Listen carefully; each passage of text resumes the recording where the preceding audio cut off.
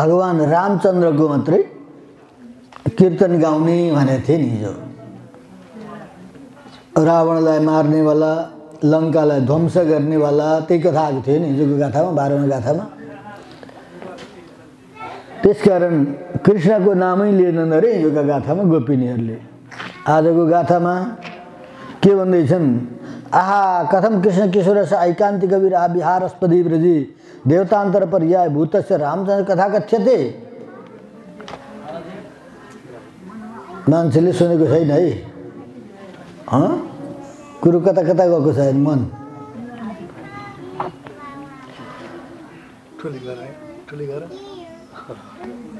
मनबहादुरलाई बसमा राख्नुपर्छ मनबहादुर कुदो भने काम हुँदैन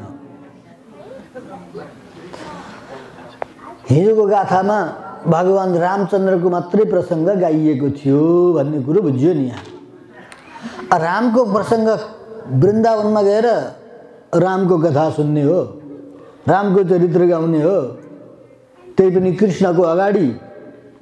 कसको धाम हो वृन्दावन? बाँके बिहारीको श्री कृष्णको कृष्णको धाममा आएर रामको कथा गाउँछौ तिमीहरू? अब अर्का पक्ष उठे जुरुक्कै।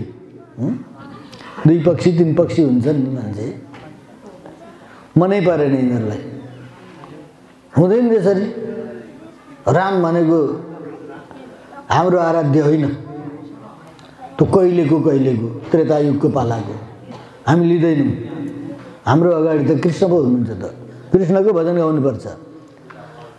कथम वा कृष्ण कृष्णापेक्षया तस्य मनोभिरामता च दिगद्यते। त्यहाँबाट भएन भगवान् रामलाई के भनेका थिए यिनीहरू मनोभिरामम रामम अरे मनको अभिराम रामचन्द्र अरे मनलाई आनन्द दिने राम भनेर चाहिँ हिजो गाथामा वर्णन गरेका थिए कृष्णको अगाडि राम कसरी मनोभिराम हुनसक्छ गोपिनीहरूको तर्क अब यहाँ अरू गोपिनीहरू मनोभिरामता निगद्यते किमिदम अन्य अन्यायम नाम। यस्तो अन्याय किन गरेको तिमीहरूले? अर्की गोपिनीले भने अरे सखी तैँले साह्रै ठिक भनिस्। सोह्रै आना ठिक कुरा गरिस् अरे। किन? लु त हामी गएर अयोध्यामा गएर हनुमानगढीको अगाडि गएर चाहिँ राधे श्याम भनौँ त। त्यहाँका जोगीले हामीलाई लाठी लगाएर हान्छन्। बैरागीले खेदाइदिन्छन् त्यहाँबाट। के गर्नु भन्नुपर्छ अयोध्यामा गएपछि सीताराम। के अरे सीताराम। पुगेको छ कोही त्यहाँको बोली नै त्यही हो अयोध्या वृन्दावनको राधे। बरु श्याम नभन तर राधे जरुर हुनुपर्छ राधे श्याम। यसरी आफ्नो आफ्नो स्थानको महत्त्व हुन्छ। अब वृन्दावनमा बसेर तिमीहरू रामको कीर्तन गाउँछौ? त्यहाँबाट राम पनि कस्तो रहेन मनोहर भिराम अरे। साह्रै राम्रो त्यहाँभन्दा राम्रो पुरुषै छैन। हाम्रो मनै आकर्षित भयो। लङ्का ध्वंसी रामकथा कीर्तन मात्र कथम उपपद्यताम। अथच बिबिलिसीम अब भन्नु लाग्यो अर्की गोपिनले फेरि जुरुक्क उठेर भन्छ होइन होइन। राम राम्रो होला। त्यति बेलाको जमानामा राम राम्रै थिए होला भने यिनीहरूले ठिकै छ। तर मनोभिरामो भवितुमर्हति आत्मगुणैर देह गुणैश्च खलु मनोभिरामता वक्तव्या। एतै उप उभयैश्च गुणैः अस्मदीय कृष्ण एव रामम अतिशय अतिशयते राम त्यति राम्रो थियो भनेर भने नि यिनीहरूले। तर सबै चरित्रलाई केलाएर हेर्ने भने रूप औदार्य गुण व्यवहार सबै केलाएर हेरौँ त रामभन्दा हाम्रो कृष्णजी कम छ अर्कीले भनिन् क्या रामभन्दा कृष्णमा के कम देख्यौ तिमीहरूले र रामको भजन गायौ तिमीहरूले कृष्णको विषयमा एउटा श्लोक आउँछ नि सुन्दरतामा मणिविडम्बिनीयस्य मनोहरे बपुषि मग्नमना मुनिमण्डली। जप ममुञ्चत हो मम मुञ्चत व्रतमा मुन्छ त वेदमा मुन्छ त भगवान् श्याम सुन्दर श्रीकृष्णले मणिको माला लगाउनु भयो। त मणिद्वारा विडम्बित बनेको भूषित बनेको, विभूषित बनेको भगवान् श्याम सुन्दर श्रीकृष्णको दिव्य देह, दिव्य बपुस त्यो देखेर मुनिहरूले एकचोटि ट्याक्क हेरेको हेरेका हेरे भएछन् ती। जय श्रीमन्नारायण।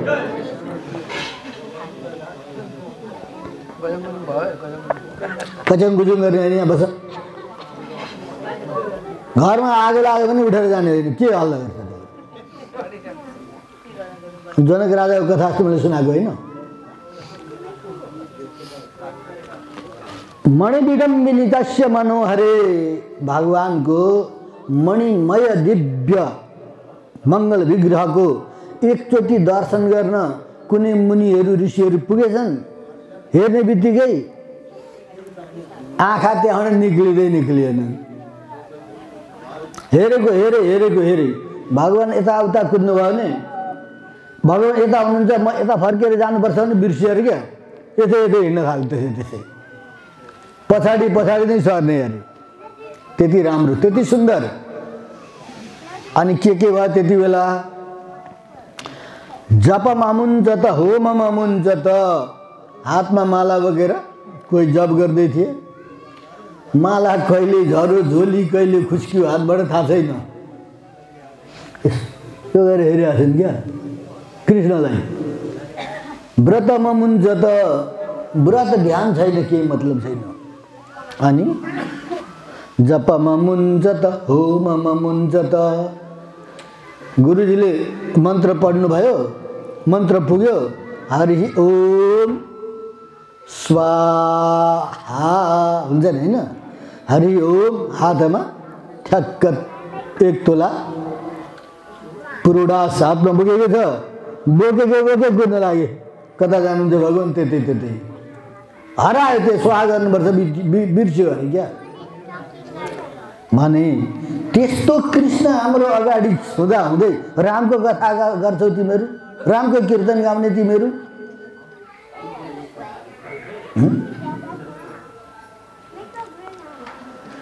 याथर्हम केशवे वृत्तिम अवसा प्रतिपेदी रे इत्यादि भी प्रस्तम दिव्य सौंदर्य लावण्यादिकम चाहिँ रामे दुर्निरूपम।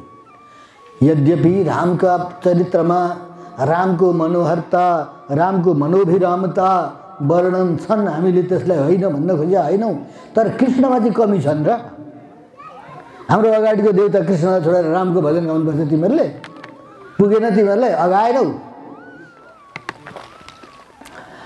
अथवा राम एव कामम भवतु मदोभिराम मानिलिउँ अरे क्या एकछिनको लागि मानिलिउँ। रामै चाहिँ राम्रो रहेछ अरे। रामकै चरित्र राम्रा रहेछन् अरे। राम एव काम भवतु मनोभिराम। तर म त एउटा कुरो भन्छु अर्कीले भन्दैछन् उठेर सब गोपिनीहरूका वार्ता चल्दैछन् क्या? दुर्ग उठिन्। म एउटा कुरा भन्छु। तिम्रो घरमा तिम्रा श्रीमान अलिकति कुरूप रहेछन् अलि भने जस्तो मान्दा रहेनछन् गर्दा रहेछन् हँ? त्यति राम्रा सुन्दर रहेनछन्। तर तल्ला घर दिदीका श्रीमान साह्रै राम्रा चिटिक्कै परेका भने आफ्नो श्रीमानलाई त्यागेर उनको भजन गर्दै हिँड्ने हो उनको के अरे गुणगान गर्दै हिँड्ने हो त मिल्छ त्यस्तो मिल्दैन हुँदैन पातिव्रत्य धर्म नै बिग्रिन्छ त्यसकारण हाम्रो अगाडिको श्रीमान त कृष्ण पो हो त कृष्णको गान गाउ गाउन छोडेर रामको गान गाउँछौ तिमीहरू। कुनै पनि पतिव्रता नारीले परपुरुषको गुणगान गाए जस्तो यहाँसम्म पनि पुगे गोपिनीहरू। स्वकीय पति कुरूपी मूर्खस्त किम अहो सुन्दरो मेधाविन्छ परपुरुष प्रेरणीय भवे। त्यही पनि कुलवनिता नाम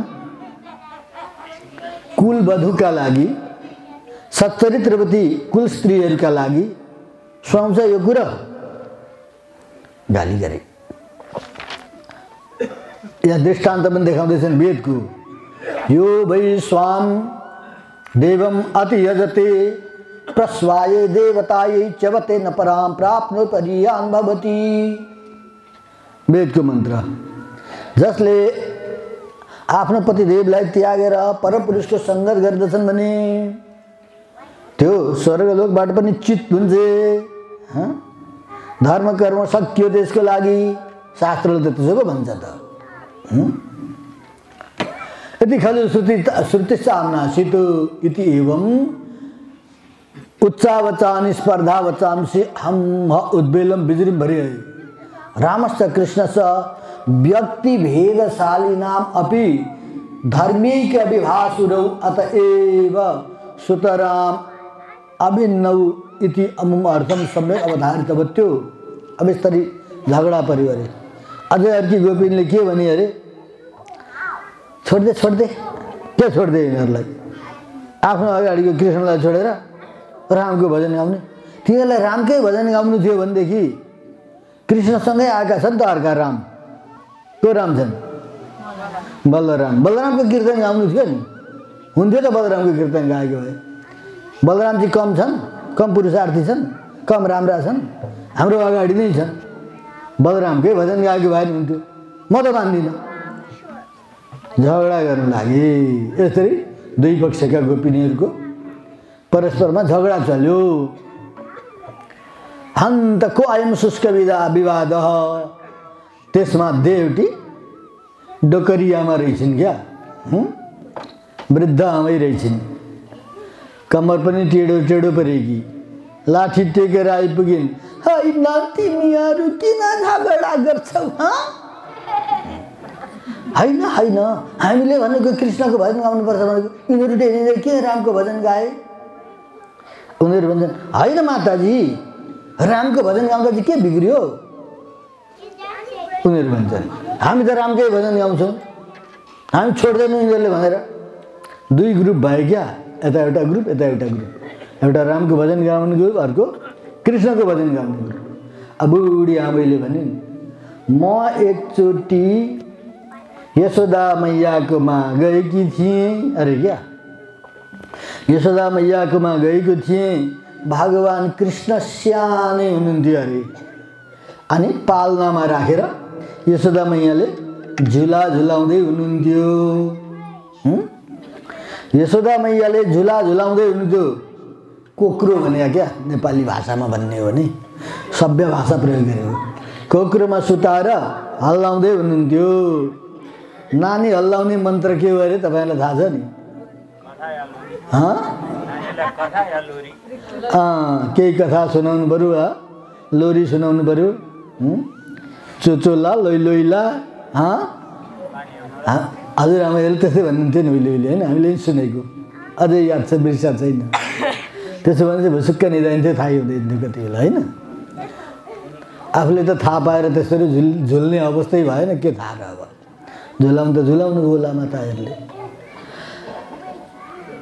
हजुरआमा हाँस्दै हुनुहुन्छ थाहा पा हजुरआमालाई थाहा होला हामीलाई झुलाएको यसरी झुलाउँदाखेरि यशोदा मैयाको चाहिँ लोरी गाउने एउटा श्लोक रहेछ।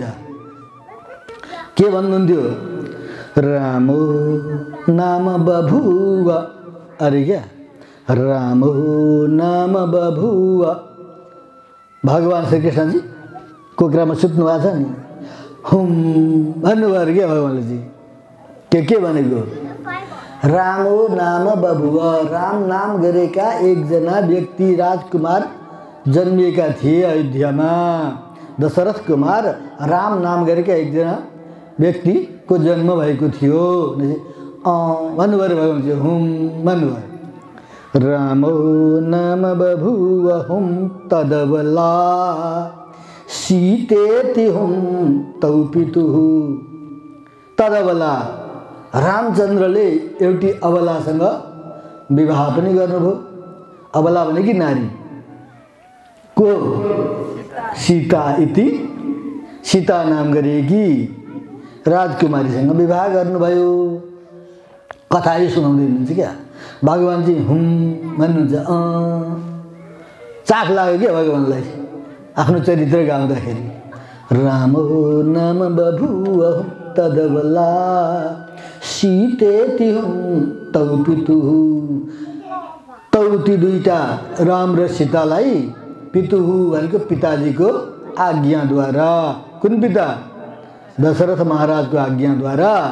के भयो? वाचा पञ्चवटी बने विहरतो तामाहरद रावण। पितु वाचा पिता दशरथको आज्ञाअनुसार भगवान् रामचन्द्र जब वनमा जानुभयो सीताजी पनि साथमै जानुभयो। जाँदै जाँदै पञ्चवटी क्षेत्रमा पुगे। त्यहाँ पुगिसकेपछि भगवान् हुम भन्नुहुन्छ अँ भन्दै हुनुहुन्छ सुन्दै हुन्छ चासो लिएर। वाचा पञ्चवटी भने विहरतो तामा हरद रावण। ती सीतालाई रावण नाम गरेको राक्षस राजाले हरण गरेर लिएर गयो। त्यहाँ पुर्याउनु कथा तामा हरद रावण। यसरी माताजीले मेरो लाला निधाओस् चाँडै मेरो कथा सुनाएको। निद्रार्थम जननी मुखादिति श्रुतम। निद्रार्थम जननी मुखादिति कथाम। कृष्णश्च शृण्वत। भगवान् कृष्णले पनि यो कथा त राम्ररी सुन्दै हुनुहुन्थ्यो। भगवान् त कोक्राबाट झुरुक्क उठ्नुभयो अरे क्या? बच्चो झुरुक्क उठ्नुभयो बुरुक्क उफ्रिनु तल। भुइँमा उफ्रिनु के भन्छ? अरे लक्ष्मण लक्ष्मण लक्ष्मण मेरो धनुष बाण लिएर आऊ। म त दुष्ट राक्षसलाई मारेर मेरी सीतालाई लिएर आउँछु। दौडिहाल्नु भयो अरे कृष्ण। कुरो बुझ्नुभयो? रामको कथा सुनाउँदा कृष्णले त्यसरी अरे लक्ष्मण मेरो बाण धनुष बाण लिएर आऊ। म रावणलाई मारेर सीतालाई लिएर आउँछु। दौड्नु भयो अरे। अब यशोदा मैयाले बल्ल बल्ल फकाएर फुल्याएर कसो गरेर समातेर ल्याएर फेरि अर्कै चरित्र बताएर सुताउनु भएको यो त मैले मेरो नेत्रले मेरो आँखाले देखेकी छु ती बुढी आमैले सुनाउँदैछिन् निद्रार्थम जननी मुखादिति सुत्कथां। कृष्णस्य संशृण्वत सौमित्रे क्व धनुर्धनुर्धनुरिति व्याघ्रागिरः पातु वः त्यस्तो भगवान्ले हाम्रो कल्याण गरोस् आशय हो। त्यसकारण के भन्दैछन्? ए गोपिनी हो ठेकीभित्र पानी हालेर मोही पार्दा घिउ निक्लिन्छ। निक्लिँदैन नि। निक्लिन्छ त। के हाल्नुपर्छ दही हालेर पार्नु हो म घिउ निक्लिन्छ। त्यस्तै तिमीहरू यो शुष्क विवाद गरेर केही पनि सार तत्त्व निक्लिँदैन क्या। के झगडा गरे क्या परस्परमा? कृष्ण र राम भन्ने कुरो। कृष्ण भने पनि राम हो राम भने पनि कृष्ण हो। सम्झाइन मैले कृष्ण र राममा कुनै अन्तरै छैन अरे। त्यति मात्रै हो र यशोदा मैयाले कृष्णलाई सुताउँदाखेरि अरू पनि शब्द प्रयोग गर्नुहुन्थ्यो। वामन मूर्ति अत्रा गच्छ काकुस्थ भगवान् अत्रायाही भगवान् कहाँ खेल्न कुद्नुहुन्थ्यो?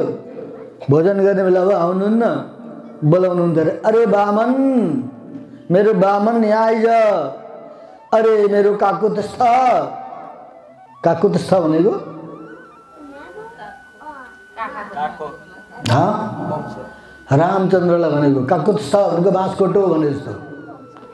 एउटा हँ? कुरो बुझ्यो नि? आफै थर भन्दै जस्तो बुझ्यो नि? त्यस्तै हो। एकजना राजा थिए क्या? त्यो राजा देवासुर युद्ध भयो। देवासुर युद्धमा देवतालाई देवासुर युद्धमा देवताले पनि जय श्रीमन्नारायण। देवताले पनि दानवले पनि दुवैले भगवान्सँग गएर प्रार्थना गरे। भगवान् तपाईँले हाम्रो पक्ष लिएर युद्ध गर्नु पर्यो। देवताले पनि प्रार्थना गरे दानवहरूले पनि। अब भगवान् कतापट्टि लाग्ने? भगवान्ले भन्नुभयो म कतै पनि तिमीहरूको युद्धमा जान्न जसलाई जित्ने इच्छा छ त्यसले चाहिँ एउटा राजाको नाम थियो के नाम थियो नाम मैले बिर्सेँ। त्यो राजालाई बोलाएर युद्ध गर।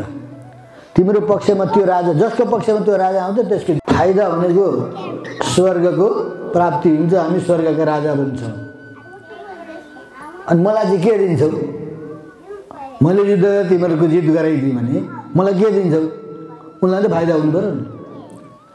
ल के चाहन्छौ त्यही दिन्छु भने। उनले भने स्वर्ग तिमीले जितेपछि त्यो स्वर्गको राजा म बन्नुपर्छ। तिमीहरू होइन भने। कुरो नि? मलाई त राज्य दिनुपर्छ। जसको लागि म तयार गरेर जानु त्यही तँलाई दिनु। किन चाहियो? हामी तँसँग तँलाई लिएर जाँदैनौँ भने दानवले छोडिदिए। के भन्छ विष्णु धर्म त म क्या मैले अस्ति अलि अस्ति कहिले पढाएको थिएँ कथा छ बडा विचित्रको न विष्णु पुराणमा होइन विष्णु धर्मतर्मै हो त्यस पछाडि दा देवताहरू पुगे देवताले यही प्रस्ताव राखे देवतालाई पनि त्यही भने मलाई के दिन्छौ जे माग्छौ त्यही दिन्छौ यिनले भने मलाई स्वर्गको राज्य दिनुपर्छ तिमीहरू राज्य गरेर न मलाई राजा बनाउँछौ देवताले यसो सोचे भगवान्ले केही सोचेरै भन्नुभयो होला। अलि बुद्धिमान हुन्छ नि देवता हुन्छ तिमी नै चलाउ राज्य जित भएछ भने तिम्रै भयो। लिएर गए इन्द्रले। युद्ध भयो युद्धमा यी राजालाई युद्ध गर्नका लागि निकै डरु एउटा गोरु चाहियो। भयङ्कर डर लाग्दो गोरु। त्यसको ककुत भनेको के हो गोरुको? ककुत भनेको जुरो। जुरो भएको ठाउँ। त्यही ककुतमाथि गएर बसे। त्यसमा बसेर युद्ध गरेकोले यिनको नाम ककुदमी भएको थियो क्या। बसी गएर।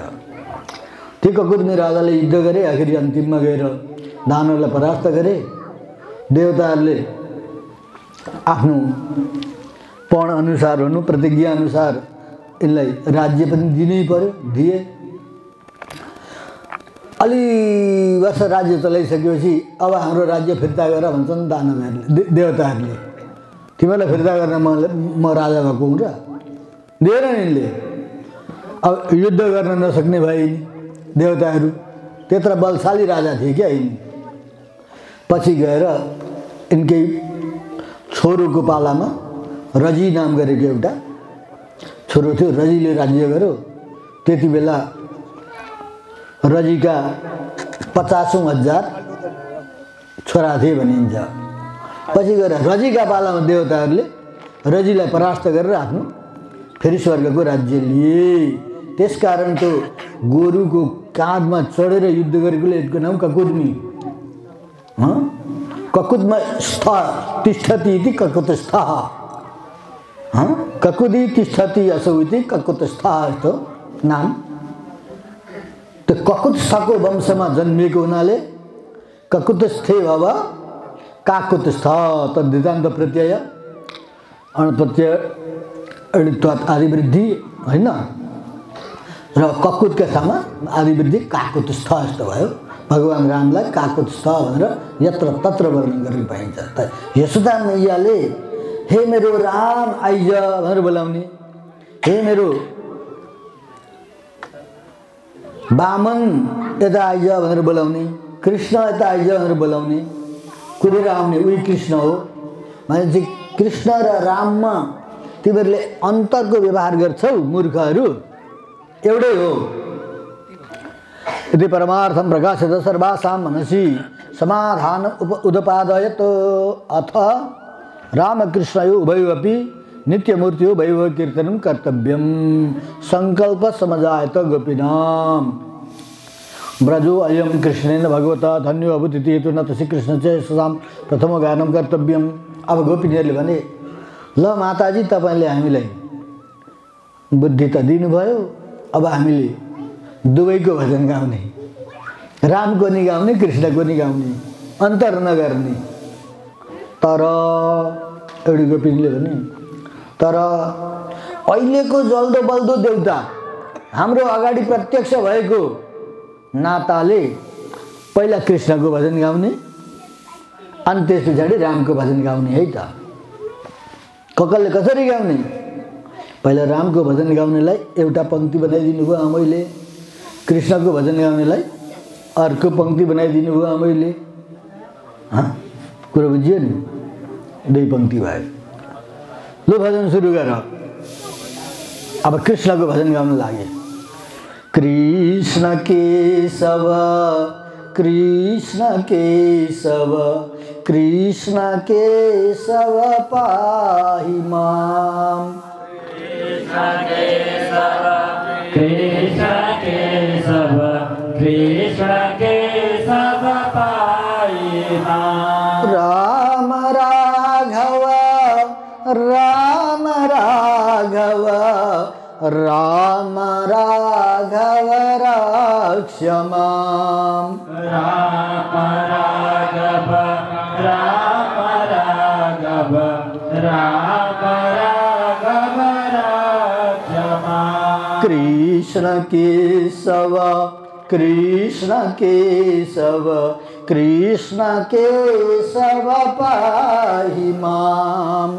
कृष्ण केशव कृष्ण केशव कृष्ण केशव पाहि माम् राम राघव राम राघव राम राघव रक्ष माम्। राम राघव राम राघव राम राघव राक्षमा अब दुईवटा पङ्क्ति एउटाले रामको मात्रै भन्ने एउटाले कृष्णको मात्रै भन्ने, है त सकिन्छ नि? ल, माइकवाला एउटा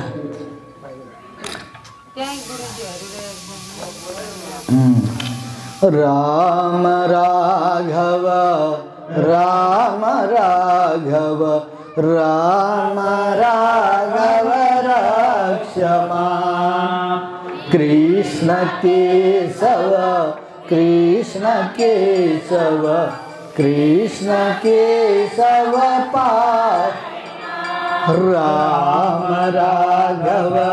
राम राघव राम राघव राक्षमा कृष्ण केशव कृष्ण केशव कृष्ण केशव पा अब यहाँ पर्खिने यतापट्टि कृष्णको भजन यतापट्टिको रामको भजन। अब यो भजन गाउँदा गाउँदा कसले जित्दो रहेछ है त? जित्नेले यो प्रो यो प्राइज पाउँछ। यो मोबाइल दिन्छु म। यसभित्र कति वस्तु छन्? सबै तपाईँको हुन्छ ल। मोबाइल त दुई चार सयमा किनिहाल्नुहुन्छ पाँच सात सयमा होइन? तर यहाँ भएको सबै वस्तु भेटाउनुहुन्छ ल। हरे राम हरे राम राम राम हरे हरे। हरे कृष्ण। हरे राम हरे राम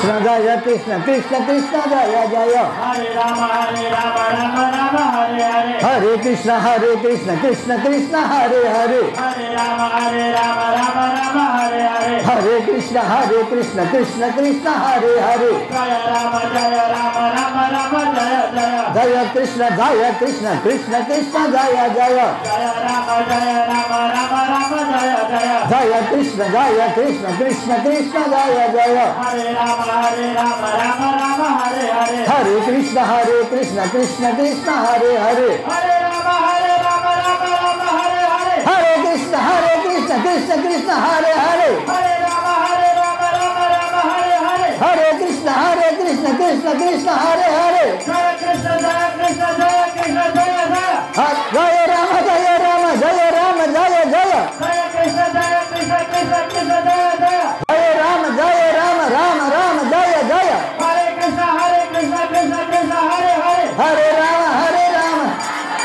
हे राधा कृष्ण भगवान गो सीता रामचन्द्र भगवान गो भजन गाउँदा गाउँदै हार जितै भएन उताको पनि उत्तिकै यताको पनि उत्तिकै अहिले प्राइस कसले लाने त कसैले लाँदैन त्यसकारण कसैले भेट्टाएन क्या सबै बराबर भयो कसलाई दिनु पुरस्कार एउटा थियो सकियो होइन अब अगाडि कथा यसरी गोपिनीहरू दुई पक्ष भएर दिव्य भजन गाउनुभयो। एवं एवं अति आश्चर्य गानं कुर्वत्यो गोपाल ललना।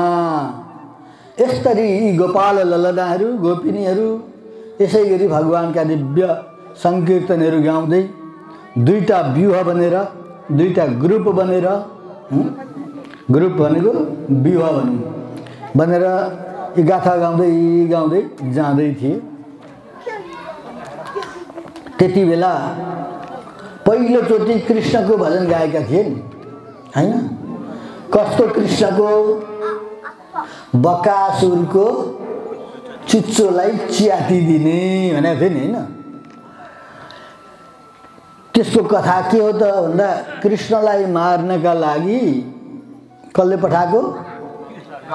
कंसले पठाएको। कसलाई? बकासुर। त्यो असुर हो राक्षस हो जस्तो पनि रूप बनाउँथ्यो तर त्यति बेला बकुल्लोको रूप बनाएर गएको थियो। कृष्णलाई मारिदिन्छु भन्दै बकुल्लोको रूप धारण गरेर गयो।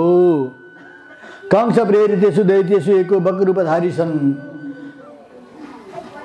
जलप्रान्तेषु आसन गवेषण तत्पर तत्पर बकेषु अन्यतम इव सन् कृष्ण द्रोह बुद्ध्या समुपस्थित। तस्य तत्व विदन्। कृष्ण तस्यास्यं विदार्य। तं प्राणैरि वियोजया नाश इति बकासुरवध कथा संक्षेप अत्र अयं यादवाभ्युदय श्लोकको अनुसन्धेय हाम्रो आचार्य लेख्दै हुनुहुन्छ बकुल्लाहरू कहाँ बस्छन् अरे पानीको छेउछाउ हो कि होइन जता पानीहरू हुन्छ नि? धेरै पानी भएको ठाउँ त्यसको छेउमा किनारामा बसिराखे किन त्यहाँ बसेका बकुल्ला थाहा छ माछा खान। एउटा कथा आएन अस्ति रामायणमा सुनेको थिएन? भगवान् रामचन्द्र घुम्दै घुम्दै कहाँ पुग्नु भएको थियो अरे? पम्पा सरोवर। पम्पा सरोवर भनेको धुन्धुकारीको एरिया। जहाँ धुन्धुकारी बस्थ्यो त्यही ठाउँमा। तुङ्गभद्राको छेउछाउ कर्नाटक प्रदेशमा भारतको। त्यहाँ रामचन्द्र त्यहाँ पुग्नु एउटा बकुल्लो रहेछ ढुङ्गामा टुक्रुक्क बसेको क्या। ढुङ्गामा टुक्रुक्क बसेको आँखा चिम्म गरेर यसो देखिन्छ परबाट हेर्दा ध्यान मग्न छ। रामले भन्नुभयो लक्ष्मणलाई हेरे लक्ष्मण हेर यो पम्पा सरोवरमा यो बकुल्लो कति धार्मिक रहेछ कि? यसले मेरो ध्यान गरिराखेको छ अरे। पश्य लक्ष्मण पम्पायाम बको परम धार्मिक। रामले भन्नु ध्यान गर्दैछ पर त सरोवरको बिचबाट एउटी माछी निक्ली क्या? माछी भनेको थाहा छ नि? माछा कि श्रीमती? बुरुक्क उफ्री माथि। माथिबाट के भन्छ? बकम किम वर्ण्यसे राजन येनाहम निष्कुलीकृता। कस्तो उत्तर दियो भगवान्लाई हे राजकुमार हे महाराज तपाईँले बकुल्लाको यत्रो प्रशंसा गरिदिनु भयो जसले आज म निसन्तान बने मेरा सन्तान सब खाइसक्यो दुष्टले। अब मलाई खानको लागि यहाँ ध्यान गरेको छ। यसले ध्यान गरेको हो। माछा ढुकेको त। त्यही भएर ध्यान गर्दा बकुल्लो ध्यान गर्नु हुँदैन भनेको छैन। कतै कतै त भन्थ्यो भने उसले सानोमा चाहिँ हामीलाई काको चेष्ट बको सानो भन्थे होइन। तर अँ, श्वान निद्रा तथैव च अल्पहारी। गृहत्यागी। थाहा छ नि? विद्यार्थीका यी पाँचवटा लक्षण हुन्छन् अरे। के के हुन्? कागको जस्तो चेष्टा अरे। बाटो हुनु पऱ्यो बकुल्लाको जस्तो ध्यान गर्नु। निमग्न भएर भनेको क्या। तर बकुल्लाले जस्तो माछाको ध्यान गर्नु भने चाहिँ होइन। भगवान्को ध्यान गर्नुपर्छ। श्वान निद्रा सुत्नु चाहिँ कुकुरको जस्तो अरे। अलिकति छ्यास केही छ सुरु जुरुक उठेर ग्वाङ ग्वाङ गरेर पुगिहाल्छ। हो कि होइन? श्वान निद्रा तथैव छ अल्पाहारी खाँदा खाँदै भने अटस पटस हुने गरी खाने होइन। थोरै खानुपर्दछ अनि घरमा आसक्ति गर्नु हुँदैन। घर छोडेर जानुपर्छ। पढ्नका लागि घर बसेर पढेर पार लाग्दैन। घर छोड्नै पर्छ विदेशतिर जानै पर्छ वैरागी नै पर्छ। बल्ल विद्या पाइन्छ। यसरी काको चेष्टा बकु ध्यान भने बकुलाको ध्यान रामचन्द्रले फर्क त्यो बकुलालाई सराहना गर्दा त्यो माछीले त्यसो भनेकी थिए क्या। यसले हामीलाई निस्किली बनाइसक्यो कुल कुटुम्ब सहित बनाइसक्यो। के यसको प्रशंसा गर्नुहुन्छ? भनेकी थिए त्यस्तै माछा पानीको छेउमा यो बकुल्लो गयो। अरू पनि बकुल्लाहरू धेरै थिए त्यही बकुल्लामध्येको एउटा बकुल्लो भन्यो।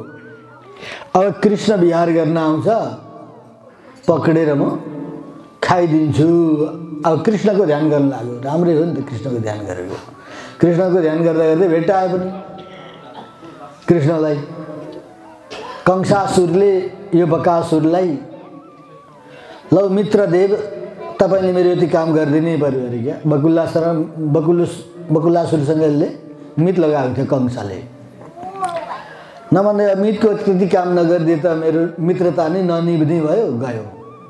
गयो गएर चाहिँ त्यहाँ गएको थियो सपक्ष कैलास गोपा वकस्य पक्ष नभितो बन्धु वने तदन्यानपि घोर वृत्तिन क्षेप्तुम प्रवृत्त इव केतुमालाः यो बकु बकासुरको बकासुर वधको अनुभव गर्दा हाम्रो वेदान्त देशिक स्वामीजी यसरी चाहिँ अनुभव गर्दै आफ्नो अनुभव यहाँ लेख्नुहुन्छ यो श्लोकमा। यादवाभ्युदय भन्ने एउटा ग्रन्थ उहाँको। वेदान्त देशी स्वामीजीका सैकडौँ ग्रन्थ छन् सयौँ ग्रन्थ। फेरि उत्कृष्टै उत्कृष्ट वेदान्त परेक अब यसरी सपक्ष कैलास निवस्य पख पखेटा नै यति माथि उच्चा थिए र त्यसका यो कैलाश पर्वत पो हो कि भन्नु जस्तो। कैलाश पर्वतमा हिउँ परेर सेतै भयो जस्तो बकुलाका पखेटाद्वारा। कैलासै पर्वत हो कि भन्नु जस्तो थियो अरे क्या। पक्षान अभितो बन्धु। सबैले ती पखेटालाई बाँधिदिए अरे। अब कृष्ण गरेर यसलाई मार्छ भनेर थाहा नपाइकन उहाँ अनुभव गर्नुहुन्छ यसरी क्या। यसरी घोर वृत्ति गर्ने बेला जुन बकासुर थियो। श्री कृष्ण कृतेषु अति मानुष चेष्टितेषु च भूयसु सत्सु। अब यसरी अनि भगवान्ले त्यो बकासुरलाई मारिदिनु भयो यहाँ आचार्य के भन्नुहुन्छ भगवान् कृष्णका अति मानुष चरित्रहरू छन् नि। कत्रा कत्रा काम गर्नुभएको छ भगवान्ले। सात कोषको पर्वतलाई एक्लै सात दिन सात रातसम्म उचालेर देखाइदिनु भयो त्यस्ता त्यस्ता पराक्रमी चरित्रहरूको वर्णन गर्नु। मैले एउटा चरो मारेको वर्णन गर्छौ तिमीहरू। चरो मार्दा के पुरुषार्थ भयो त? राम पक्षकाले भने क्या। अब यतापट्टि कृष्ण पक्ष केही भन्दैछन्? होइन होइन। रामचन्द्रले यद्यपि रावण जस्ता दुष्ट राक्षसको संहार गर्नुभएको थियो तर रावणलाई मार्दा पनि भगवान्ले त्यत्रो ठुलो प्रयास गर्नु परेन अरे। कसरी मार्नुभयो? अब लीलया खेल खेल्नु नि मारिदिनु भयो। त्यसकारण रामलाई मार्न र त्यो एउटा चर ए रावणलाई मार्न र त्यो एउटा चरुलाई मार्न भगवान्लाई उत्ति नै प्रयास गर्नु पऱ्यो अरे क्या? ठुलो प्रयास गर्नु परेन। त्यस कारण जुन पनि लीला भगवान्का बराबर हुन् कुनै साना ठुला हुँदैनन्। इङ्गितं निमिषितं च तावकं रम्यम् अद्भुतम् अति प्रियङ्करं तेन कंसमुख कीट शासनं सुन्दराल्पकमपि प्रपस् प्रशस्यते कुरे स्वामीजीको अर्को श्लोकको यहाँ दृष्टान्त दिन्छ। इङ्गितं निमिषिकितं च निमिषितं च तावकं रम्यम। भगवान्को चेष्टा। इङ्गित भनेको चेष्टा। अलिकति इसारा भनौँ इङ्गितको अर्थ?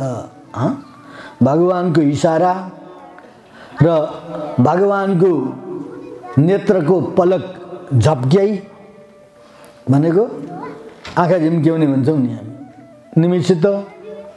सबै राम्रै राम्रा छन् अरे। सबै अद्भुतै अद्भुत छन्। भन्नाको मतलब भगवान्ले आँखा झिमिक्क पार्दा कस्ता कस्ता विचित्रका चरित्रहरू गरिबस्नुहुन्छ। भगवान्को त्यस्तो दिव्य स्वरूप छ। तेन कंस मुख कीट नाशनम त्यसकारण भगवान्ले कंस जस्ता पराक्रमी अरे क्या? दस हजार हात्तीको बल भएको एउटै हात्ती थियो अरे। दस हजार हात्तीलाई एक्लै पछार्थ्यो एउटा हात्तीले। त्यो हात्तीको नाम के हो? कुबलया पिड। के अरे? त्यो दस हजार हात्तीको बल भएको हात्तीलाई पछाडिपट्टिका दुईवटा घोडामा मात्र फनन घुमाएर घुँयत्रो हाने चाहिँ फालिदिनु भयो भगवान्। ए फालिदियो कंसले।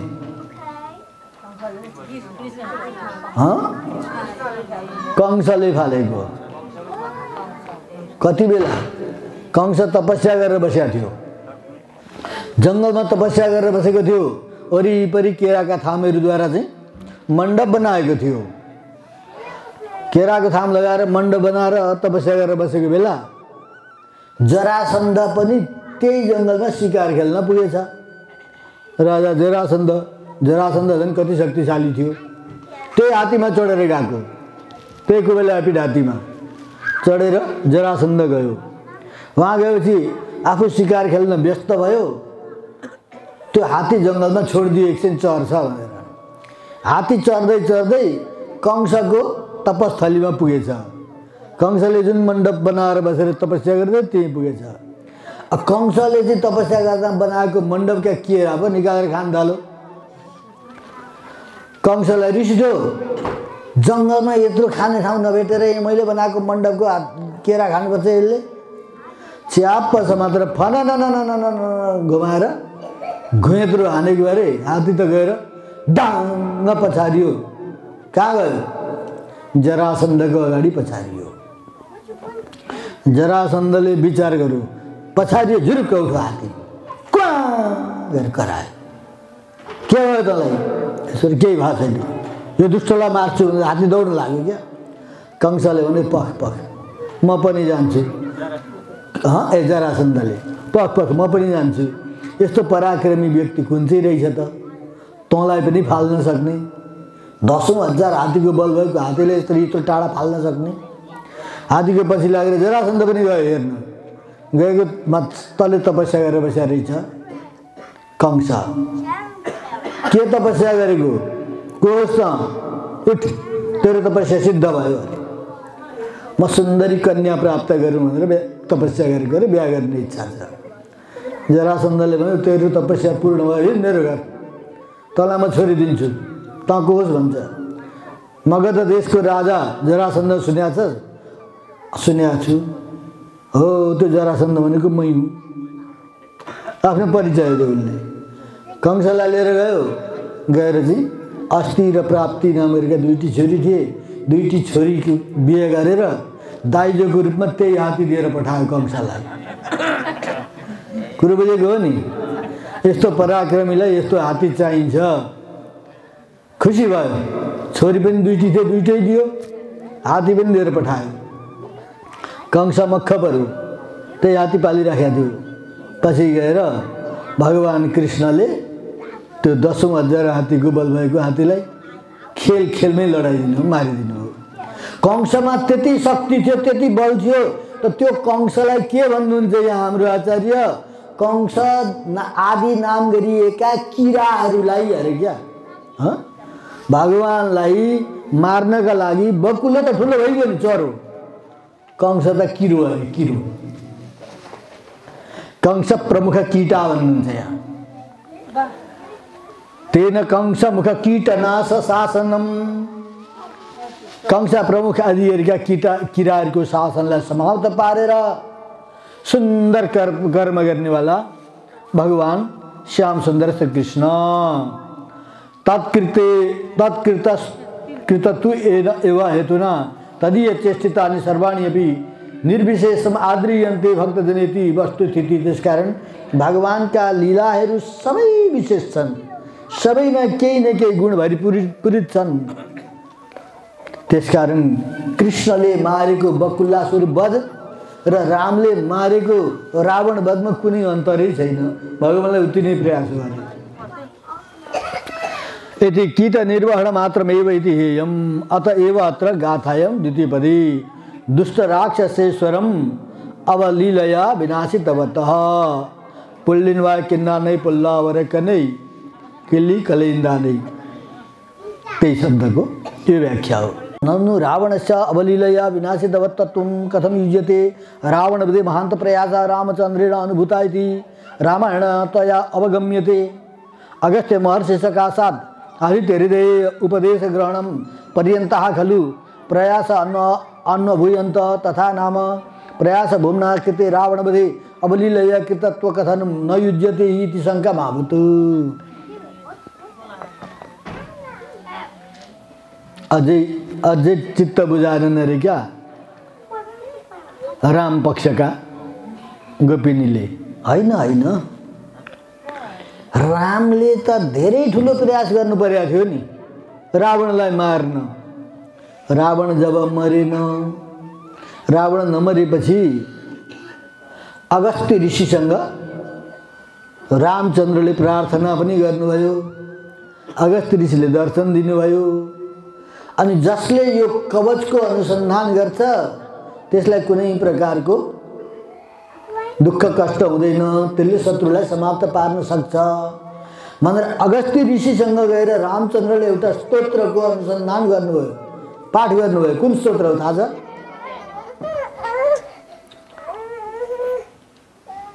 यहाँलाई थाहा छ त्यो? अगस्त्य ऋषिद्वारा रामचन्द्रलाई बक्स भएको एउटा स्तोत्र छ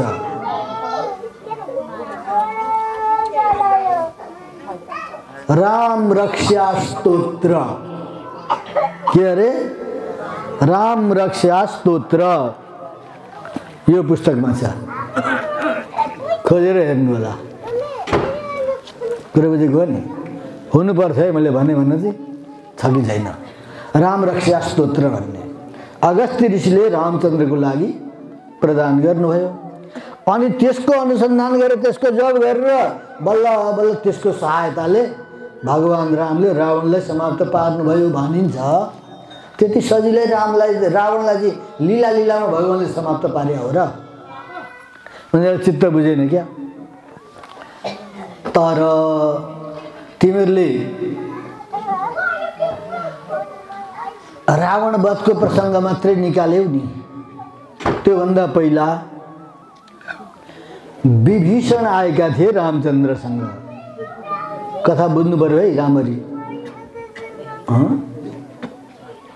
अन्य मनस्क भयो भने बुझिँदैन नि रामचन्द्रको साथमा शरणागति हुन को आएको थियो? विभीषण आएका थिए। विभीषणले शरणागति गरे। विभीषणको शरणागतिलाई भगवान्ले स्वीकार गर्नुभयो। अनि विभीषणले राम रावणका सबै पोलहरू लगाउन लागे।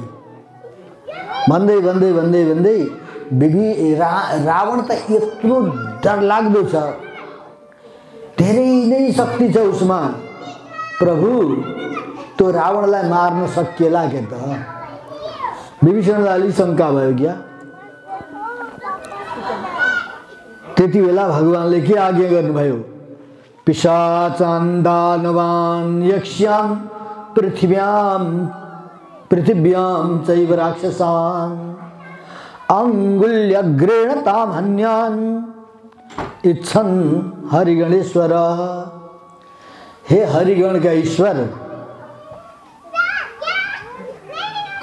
म तिम्रो अगाडि एउटा शपथै खाइदिन्छु अरे क्या के त? यो पृथ्वीमा भएका पिसाच हुन् दानव हुन् यक्ष हुन् राक्षस हुन् त्यो रावण पनि त त्यही राक्षस मध्येको एउटा हो नि यी चारै थरी व्यक्तिलाई यदि मेरो इच्छा भयो भने? यदि मेरो इच्छा भयो भने अङ्गुलीको टुप्पोबाट अरे। यो चोरी औँलाई छुवाइदिएँ भने मरि मर्छ अरे क्या। कैयौँ कोष टाढा गएर पछाडिएर मर्छ। चिन्ता नगर। रामले आज्ञा गर्नुभएको छ यति दाथ च प्राङ भकृत्वा प्रतिशिष्य महोदधे निशास्तिस्त्रोतचक्रसु इति रीत्या त्रिरात्रव्यापिनी सागरूपवेशनीकृति सत्यपि अनुपस्थिताम। यहाँ अर्को प्रसङ्ग पनि यहाँ दिँदै हुनुहुन्छ यद्यपि भगवान् रामचन्द्र मर्यादाको पालक भएकोले मर्यादा विपरीत काम गर्न चाहनुहुन्थेन समुद्रमा पुग्नुभयो समुद्रबाट पारी जानको लागि बाटो देऊ भनेर समुद्रलाई भन्नुभयो। दिएनन्। त्यहाँ धेरै प्रकारका कुराहरू भए। धेरैजनाहरूले भन्नुभयो आएर राम तपाईँकै कामका लागि हामी जाँदैछौँ। तपाईँले यी समुद्रको शरणागति गर्नुहोस् अरे समुद्रको शरणागति गर्नुहोस् शरण परेकोलाई मरण गर्दैनन् तपाईँलाई बाटो दिन्छन्। रामचन्द्र पनि ट्याक्कसितले समुद्रको किनारमा पट्टल कसेर बस्नुभयो? समुद्र देवाय नमः समुद्र देवाय नमः समुद्र देवाय नमः। सुरु गर्नु जप गर्नु।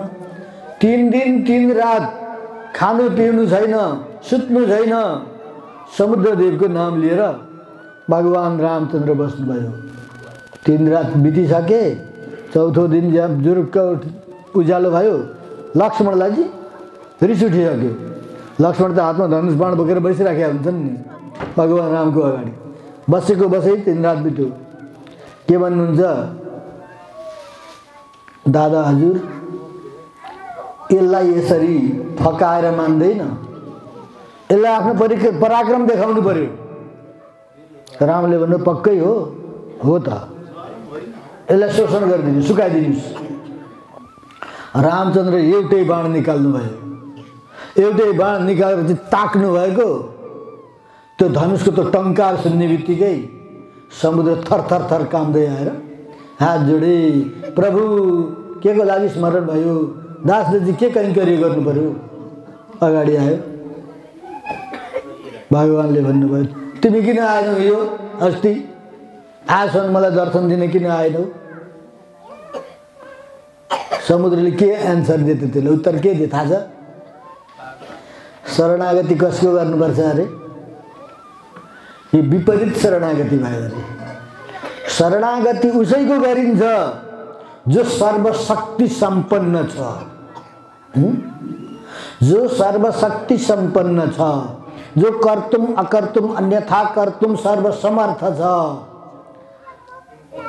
गर्न सक्ने काम पनि गर्छ गर्न नसक्ने काम पनि गर्छ जो अवाप्त समस्त काम छ जसलाई कुनै वस्तु चाहिएकै छैन सबै वस्तु परिपूर्ण छ त्यस्तो जो परात्पर छ सर्वश्रेष्ठ छ जसलाई ईश्वर भन्छन् त्यसको शरणागति गऱ्यो भने पो फलीभूत हुन्छ त। त्यस्तो व्यक्तिले चाहिँ कुनै एउटा किरा कमिला भुसुनाको शरणागति गरेर पनि सफल हुन्छ त। रामले आएर चाहिँ समुद्रको शरणागति गर्ने हो त। आज्ञा गरेको भए हुन्थ्यो नि त प्रभु। कुरो कस्तो आयो? अरूको शरणागति गरेर कहिले पनि सफलता मिल्दैन। भगवान्को शरणागति गरियो भने पक्कै काम दिन्छ। अरूको शरणागति गरेर कुनै काम काट्दैन। कुरो बुझ्यो नि त्यसकारण अब अहिले आयो भगवान्ले भन्नुभयो मलाई बाटो देऊ। उनले चाहिँ यो प्रकृतिको नियमलाई अवरोध गर्न पनि मिलेन।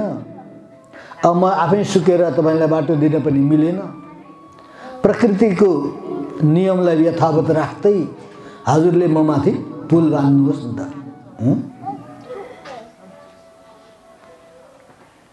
म माथि पुल लगाएर अनि जानु होला भनेपछि अब यो पुल कसरी सम्भव होला? तपाईँको बाँदरी ग्रुपमा दुईवटा बाँदर छन् अरे क्या? एउटालाई नल भन्छन् अर्कोलाई निल भन्छन्। यिनीहरू समर्थ छन् पुल बाँध्नलाई। भगवान्ले आज्ञा गर्नुभयो अब पुल बाँध्न सुरु भयो। बडा विचित्रको पुल अहिले दुईवटाले मात्रै गरे होइनन्। सब बाँदर सेना लागेका छन्। बाँदर सेना मात्रै होइन त्यति बेला त्यो ठाउँमा जति प्रकारका जीव जाति थिए नि ती सबै लागेका थिए। सबैले आफ्नो आफ्नो स्थानबाट प्रयास गरे। एउटा लोथर्के रहेछ क्या लोथर्के जान्नुहुन्छ नि। त्यो लोथर्केले पनि देखेछ क्या आहा सबैले यत्रो प्रयास गरेका छन्। म पनि किन नगर्ने? रामको लागि पुल बाँध्नको लागि। त्यो लोथर्केले पनि मुखमा अलिकति बालुवा वा एउटा सानो गिटीको टुकुरा मुखमा च्यापेर लगेर त्यहाँ लगेर पोख्थ्यो अरे क्या। त्यही भएर यहाँ हाम्रो देवनारायणजी सधैँ भन्ने गर्नुहुन्छ नि तपाईँहरूलाई। शीत उगाई घैला भरिन्छ अरे। त्यसकारण भोजनको लागि सबैले गरिराख्नु भएको छ प्रशंसनीय कार्य भन्दै। फुर्काइरहनुहुन्छ नि यहाँहरूलाई। होइन त? हामी पनि फुर्किन्छौँ। उहाँले फुर्किएर फुर्किया होइन कर्तव्य हो हाम्रो गर्नुपर्छ। गरेकै छौँ हामीले नगरे पनि छैन गरिरहेका छौँ। तर यति थोरैले के होला? भन्नु हुँदो रहेछ त। लोथर्केले समुद्रमा पुल बाँध्न सक्छ। तर भाग त लियो त उसले हँ? एउटा कुरो तपाईँहरूलाई म बताउँ एक ठाउँ विशाल ठुलो यज्ञ हुँदै रहेछ। हजारौँ ब्राह्मणलाई भोजन गराउने कार्यक्रम रहेछ। एकजना गरिब गुरुबा रहेछन्। त्यहाँ पुगे देखे। होइन यो कहाँबाट आउँछ? कसले खर्च गरेको यत्रो सम्पत्ति? अर्काले भनेछन् तपाईँ हामी जस्तै सबै मिलेर त गरेको हो नि?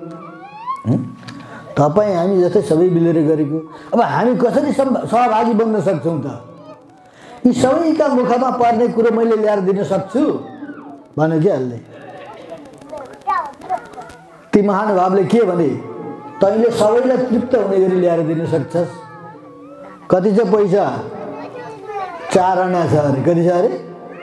चार आना चार आनाले हजुर हजारजनालाई खुवाउन सकिन्छ? हामी यी विचार गरौँ। एक डलरले हामी दिनभरि अगाउँछौँ खान पुग्न पुग् पुग्छ हामीलाई? इच्छा खान पुग्छ? पुग्दैन।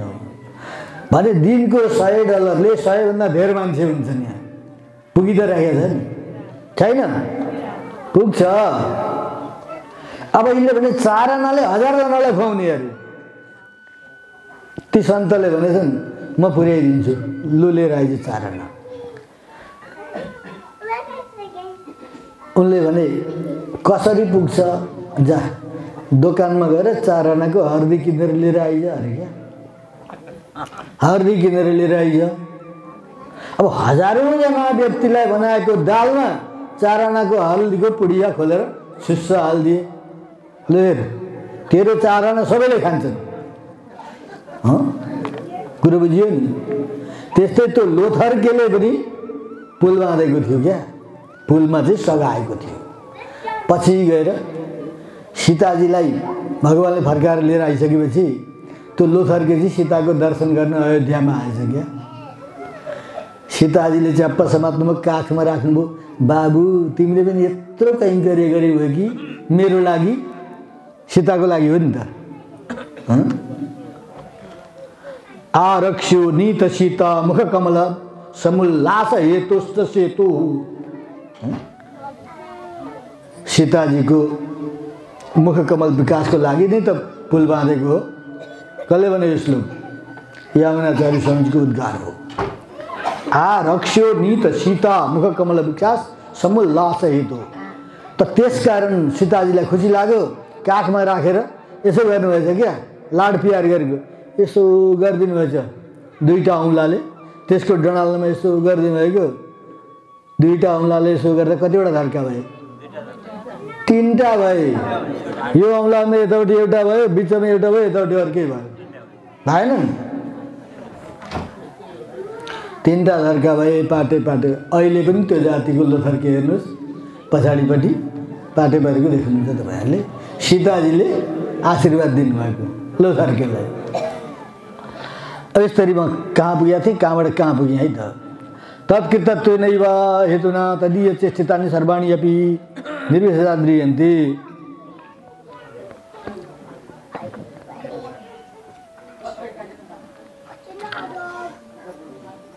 यसरी भन्न भन्नको तात्पर्य के त भन्दा रामले त्यत्रो प्रयास गरेर समुद्रमा पुल बाँधेर गएर चाहिँ तिन तिन दिनसम्म समुद्रदेवको प्रार्थना गरेका थिए।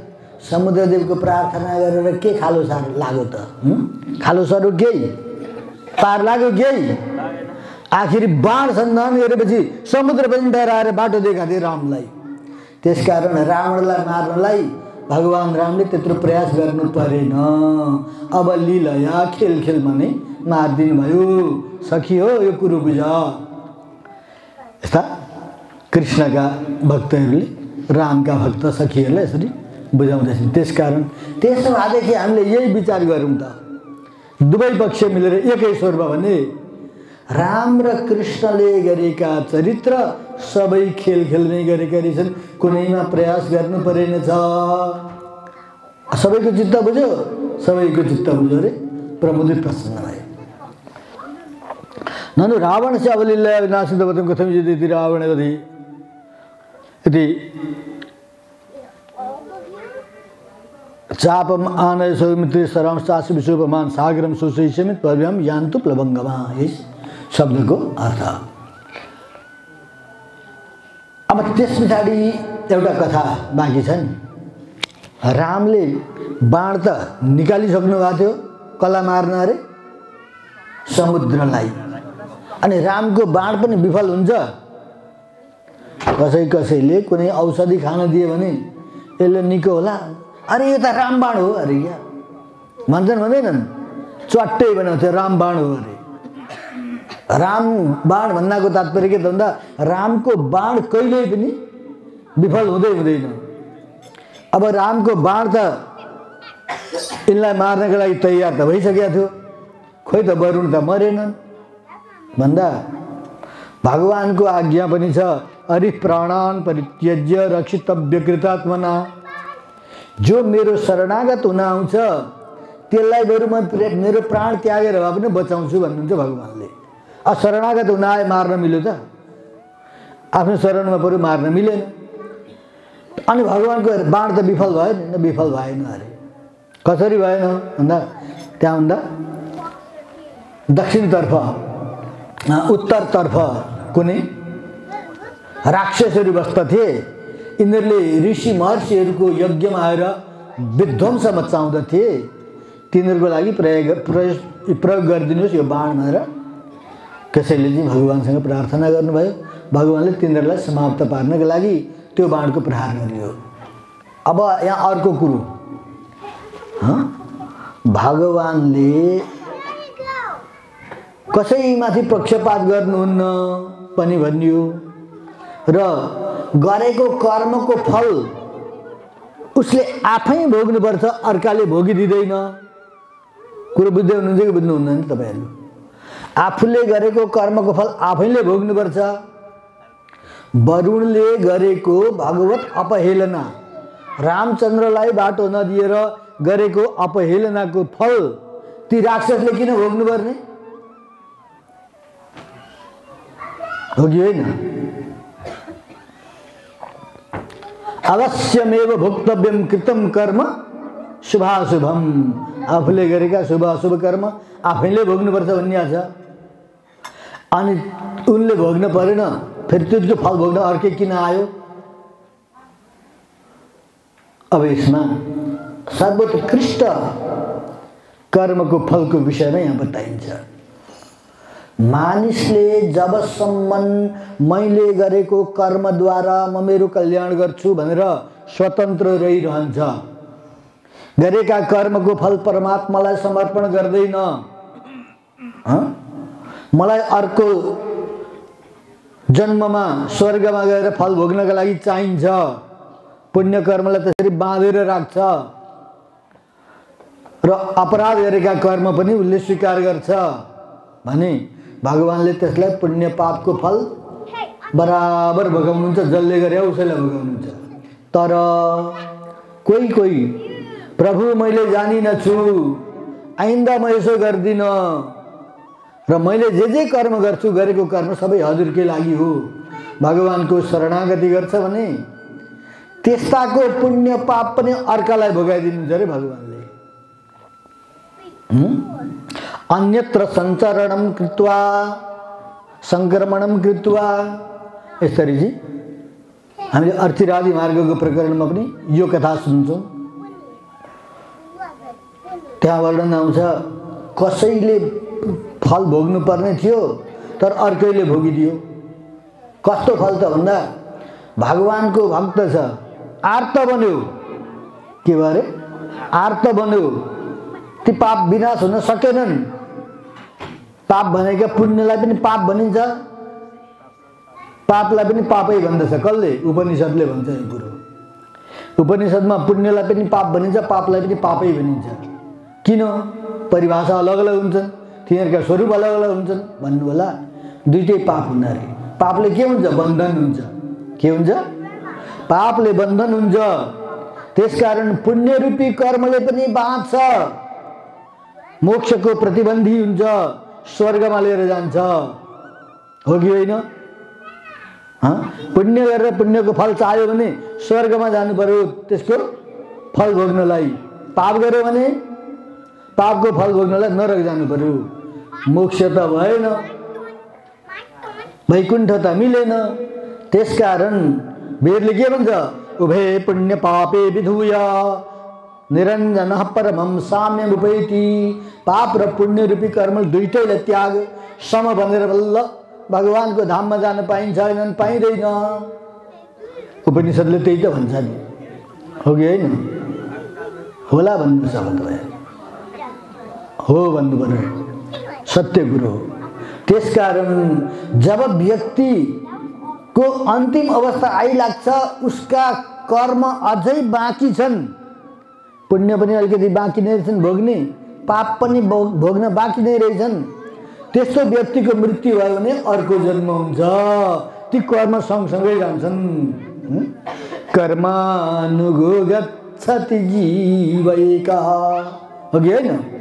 धनानि भूमौ पसरस्त गोष्ठे भार्य गृहद्वारि जना श्मशाने देहश्चितायाम परलोक मार्गे कर्मानुगो गच्छति जीवैका हामीले सुनेका छौँ पढेका छौँ। घर यो संसारको केही पनि जाँदैन साथमा। एक्लो जान्छ तर कर्मको पोको चाहिँ सँगै जान्छ। कुरो बुझियो नि? तर भगवत शरणागत निष्ठ छ भनेदेखि त्यस्ता व्यक्तिलाई भगवान्ले मुक्ति दिन चाहनुभयो भने यसका पुण्य र पाप नाम गरेका दुइटै प्रकारका कर्म पुण्य नाम गरेको कर्म यसलाई धेरै प्रशंसा गर्थे स्तुति गर्थे। तपाईँ त के के नै हुनुहुन्थ्यो। तपाईँ जस्तो त कोही व्यक्ति नै छैन। कति भनेर पो प्रार लाग्ला र। तपाईँ नभएदेखि त यस्तो हुन्थ्यो उस्तो हुन्थ्यो। फुरुक्क पारे। तैँले धेरै स्तुति गरिस्। यसका पुण्य तैँ लिएर जा। भगवान्ले त्यसलाई दिनुहुन्छ। कुरो बुझ्यो नि? अर्कोले आएर गाली गरेको थियो। यो दुष्ट यो हरामी यसको प्रशंसा गर्छन्। कुनै न कुनै व्यक्तिको संसारमा आएर प्रकृतिको साथमा सम्बन्ध भइसकेपछि सत्व रज तम तिन गुणको बसमा बनेको व्यक्तिद्वारा जीवनमा गल्ती हुन्छ। हुँदैन। केही त हुन्छ नि। तर चारनाको गल्ती गरेको छ भने बाह्रना थपेर शत्रुले त्यसलाई चाहिँ आक्रमण गर्छन् गाली गर्छन्। तैँले साह्रै यसको गाली गरिस् ल। यसका पाप तैँ लिएर जा नि त। भगवान्ले त्यसैलाई दिनुहुन्छ। अनि त्यसको कल्याण गर्नुहुन्छ। शरणागत भयो भने है त भगवान्को शरणागतिलाई स्वीकार गर्नु पर्यो। त्यसकारण वरुणलाई समाप्त पार्नलाई ठिक पारेको बाण पनि भगवान्ले अन्यत्र सङ्क्रमणम कृत्वा त्यही भन्नुभयो है यदि क्षमात्रे निषेधित्वा तावत् रामचन्द्रेण लङ्कां प्रति बाणसैकमेव तस्मादेव दिशा प्रत्ययुगतः क्षणमात्रे कृष्णनिशाचर निवारण निषोधनस्य कर्तुं शक्यत्वेपि तथा नमाकरणं प्रयाससतान् भव भवनं च स्वकीय भूयस्तर गुणविशेष प्रपन्नार्थमेव इति वेदितव्यम्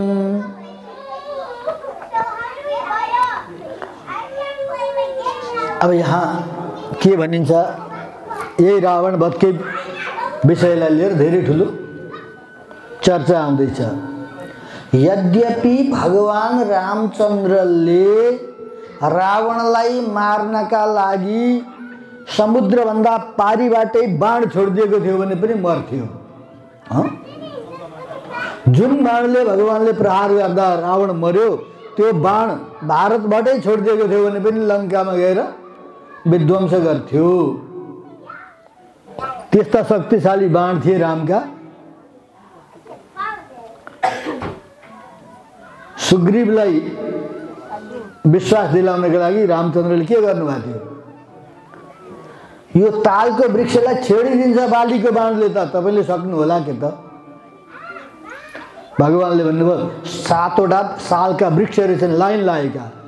लौ हेर त तिमीलाई विश्वास भएन? रामले एउटा बाण हान्नुभएको ती सातैवटा सालका वृक्षलाई भेदन गरेर पृथ्वीलाई छेडेर पातालमा गएर पातालको जलराशिलाई माथि निकालेर त्यो बाण फर्किएर आएर भगवान् रामको ठोक्रामै पस्यो प्रभु मैले पत्याएँ अरे अझै नपत्याएर दुन्दुभी नाम गरेको राक्षस पहाड जत्रो थियो। त्यसलाई त बालीले पछारिदियो। त्यसैलाई द- दुन्दुभीलाई बालीले मारेको। कहाँ छ त दुन्दुभी अब त त्यसको हड्डी मात्रै छन् अरे भगवान्लाई लगेर देखाए नि कसले अरे सुग्रीवले देखाउँदाखेरि नभन्दा एउटा पहाड जत्रै छ थुप्रिएको हड्डी मात्रै शरीर कत्रो थियो होला त्यत्रो राक्षसलाई मार्न सक्ने बालीमा कति शक्ति थियो होला? सबैभन्दा शक्तिशाली त्यति बेलाको जल्दो बल्दो राक्षसको थियो रावण तर त्यो रावणलाई त बालीले काखी पनि च्यापेर उडेको थाहा छ? बाली यस्तो थियो। पूर्व पश्चिम उत्तर दक्षिण चारैवटा समुद्रमा पुगेर सन्ध्यावन्दन सिद्ध्याउँथ्यो। बिहान सन्ध्यावन्दन गर्न बस्दा पहिला पूर्वको समुद्रमा फेरि पश्चिमको समुद्रमा फेरि उत्तरको समुद्रमा फेरि दक्षिणको समुद्रमा चारैवटा समुद्रमा बुरुक्क उठ्दा पुगिहाल्थ्यो। त्यत्रो शक्तिशाली थियो बाली। उफ्रेरै जान्थ्यो दक्षिणको समुद्रको किनारमा बसेर जप गर्दै थियो बाली सन्ध्यावन्दन गर्दै थियो। रावण आइपुग्यो त्यहाँ। पुच्छर फज्लाको ठोस परेसम्म "ए, तेरो पुच्छर हटा यहाँबाट? रावणले भन्यो क्या? पुच्छर हटा यहाँबाट? बाली सुन्या नसुनी भयो। यो मुला एउटा किरो कराउँछ भन्दैछ। अब रावण चाहिँ त्रिलोकाधिपति टेर्दैन। मेरो आज्ञालाई तैँले अवहेलना गरेको? बालीले भन्यो सक्छ भने पुच्छर हटाएर जानु त। अरे क्या? मनमनमा भने उनले। मुखले बोलेन। बालीले बोलेन। रावणलाई रिस उठ्यो यसको पुच्छर सुच्छर उखेलेर फालिदिनु पऱ्यो बाँदरको बल पुच्छरमा हुन्छ। यसको पुच्छर उखेलेर फालिदिनु पऱ्यो समात्र तान्न लागेको बालीले पुच्छरले यसरी बेर्यो क्या रावणलाई। पुच्छरमा बेरेर काखीमा ल्याएर ट्याक्क च्याप्यो आफ्नो सन्ध्यावन्दन छोडेन उसले। त्यहाँ सक्यो अर्को समुद्रमा गयो त्यहाँ गयो अर्को समुद्रमा गयो। सबै समुद्रमा सन्ध्यावन्दन सिद्ध्याएर अनि आश्रममा आयो। आश्रममा आएर बस्दाखेरि कति बेला हात यसो गरौँ भन्दा खुत्रुक्क काखीबाट झऱ्यो अरे रावण। कति शक्तिशाली रहेछ बाली। यस्ता कथा आउँछ। भने त्यत्रो शक्तिशाली राक्षसले बाँदरले मारेको यो दुन्दुबी राक्षसको पहाडो राम सकिएला के त? सुग्रीवले शङ्का गरे। भगवान्ले यसो विचार गऱ्यौँ है त। त्यो पहाड जत्रो त्यो दुन्दुबी राक्षसका हड्डीलाई गोडाको बुढी औँठाले यस्तो गर्नुभएको कोसौँ टाढा गएर पछारियो। प्रभु हजुरको शक्ति त मैले बुझेँ। भने त्यस्तो रामले त्यो मलाई रावणलाई मार्नलाई एउटा चाहिँ बाण तीबाट हान्दियो भने हुन्थ्यो नि। त्यत्रो समुद्रमा प्रयास गरेर पुल बाँधेर उहीँ जानुपर्ने। अगस्त्य ऋषिसँग प्रार्थना गर्नुपर्ने राम रक्षा स्तोत्रको चाहिँ अनुसन्धानै गर्नुपर्ने? त्यहाँबाट भएन रावणका बाणद्वारा मूर्छित हुनुपर्ने। पातालमा जानुपर्ने? सुन्नुभएको छ नि कथा त? किन त भन्दा सबैतिर आफ्नो कृपालाई प्रदर्शन गर्नका लागि। राम यति दयालु छन् रामको शरणागति ग- गर्यौ भने तिम्रो कल्याण हुन्छ। भगवान् रावणलाई मार्न लङ्कामा जानुभयो भन्छौ नि? मार्न गएको होइन। रावणलाई सम्झाउन जानुभयो। तै फर्किन्छ कि? नमारिकन पो होला कि? सम्झाउँदा सम्झेला कि? भनेर जानुभएको अरे। हाम्रो आचार्यहरू त्यही अनुसन्धान गर्नुहुन्छ यहाँ। किन? कसरी थाहा पाइन्छ रावणलाई यदि भगवान्ले चाहिँ मार्नुहुन्न भन्ने कुरो कसरी बुझिन्छ त? भन्दा विभीषण शरणागति हुन आएको बेला बाँदरहरूले के भने रावणै हुनसक्छ वेश भेष बनाएर यो विभीषणको भेष बनाएर आएको हुनसक्छ त्यसकारण विश्वास होते हुँदैन शरणागतिमा लिनु हुँदैन भगवान्ले सुग्रीवलाई के भन्नुभयो आनयनम हरि श्रेष्ठ, दत्तम अस्या अभयम मया। यसको लागि मैले अभय दिइसकेँ विभीषण हो वा सुग्रीव। हे सुग्रीव, चाहे विभीषण हो वा विभीषण होस् अथवा यदि वा रावण स्वयं विभीषण वा सुग्रीव यदि वा रावण स्वयं रावण नै हो भने पनि मेरो शरणागति गर्न आएको हो भने मैले यसलाई अभय दिएँ लिएर आऊ भगवान्को हृदयमा रावणलाई मार्ने अभिप्राय रहेछ त अझै पनि त्यो भगवान्को मन परिवर्तन भएको थिएन रावण सम्झिन्छ होला मान्छ होला। भगवान्लाई राम रावणलाई मार्ने इच्छै थिएन। त्यसकारण त्यत्रो प्रयास सहनुभयो भगवान्ले रामचन्द्र से रावणे रावणे जिगांसा नासित अपितु वृष मुनि जिगृशैवासित इति। सुगमं यो वज्रपाता सनिसन्निपातात् न चुक्षुभे नापि चचाल राजा। स राम बाणाभियतो वृषार्तस चचाल चापम च मुमोच वीरः। अब यहाँ रामायणको एउटा दुईवटा श्लोक। अनुसन्धान गर्दै हुनुहुन्छ। जब रामचन्द्रले रावणलाई बाण प्रहार गर्न लाग्नुभयो नि बाण हान्दा हान्दा हान्दा रावणको पहिला त ध्वजो गिराउनु भयो त्यस पछाडि रस गिराउनु भयो घोडा विचलित भए रावण भुइँमा आयो ऊ युद्ध गर्न छाड्दैन भगवान्ले बाण हान्नुभयो भगवान्को बाणद्वारा रावणको बा बाण बोक्ने ठोक्रो पनि उडेर गयो अर्को बाण हान्नुभयो रावणको धनुषै भाँचियो अर्को बाण हान्नुभयो रावणले यसरी धनुष पक्रेको छ नि पक्रेको भन्दा माथिको भाग काटियो अझै छ अलिकति अर्को बाण हान्नुभयो भगवान्ले यहाँभन्दा तलको भाग पनि काटियो कुरो बुझिँदैछ कि छैन है? रावणले बोकेको धनुषको एक मुठी मात्रै हातमा छ अब। उँभोको पनि काटियो उँधोको पनि काटियो। भगवान् रामका बाण अझै रोकिँदैनन्? भगवान्का बाण अझै रोकिँदैनन्। हानेको हाने हुनुहुन्छ। अब त्यहाँका दर्शनार्थीहरूले भन्न थाले होइन वास्तवमा यो राम ईश्वर होइन कि क्या हो? यस्तो अधर्म युद्ध त नगर्नुपर्ने। निशस्त्रमाथि निहत्थामाथि प्रहार नगर्नुपर्ने। राम हो भने त यो ख्याल ख्यालको राम हो कि क्या हो? कति डराए पनि। रावण भित्रभित्रै खुसी हुन लाग्यो। उसले सोचेको थियो यो मानिसको रूपमा पक्कै पनि ईश्वरै आएको हो। मार्छ होला डराइसकेको थियो। अब खुसी भयो। मान्छे मुलाले मलाई किन मार्थ्यो? यो राम भन्ने ईश्वर होइन। खुसी भयो। किन होइन ईश्वर? ईश्वर हो भगवान् हो परमात्मा हो भने नियत्थामाथि बाणै चलाउँदैन थियो त्यसलाई दस बिस बाणले भेदिकन के हुन्थ्यो र रावणलाई खुसी भइराखेको छ जब भाग्नु पऱ्यो भने भाग्न खोज्दा लडखडा आयो कति धनुष बोकेको थियो त्यसले हातमा एक मुठी उँधोको पनि छैन उँभोको पनि छैन चल लडखडा आएर पछारिँदाखेरि हातबाट त एक मुठी धनुष पनि छुट्यो छुटेपछि भगवान्ले गएर च्याप्प समात्मा जुरुक्क उठाउनु भयो। बाबु मैले थाहा पाएँ त साह्रै दुःखी छस्। तँलाई बाणले भेद भेद भएको छ। जा गएर रातभरि विश्राम गर। अनि औषधि उपचार गर भोलि स्वस्थ बनेर अर्को रथमा चढेर आउला सिद्ध गर्न। पठाइदिनु दिनुभयो भगवान्ले।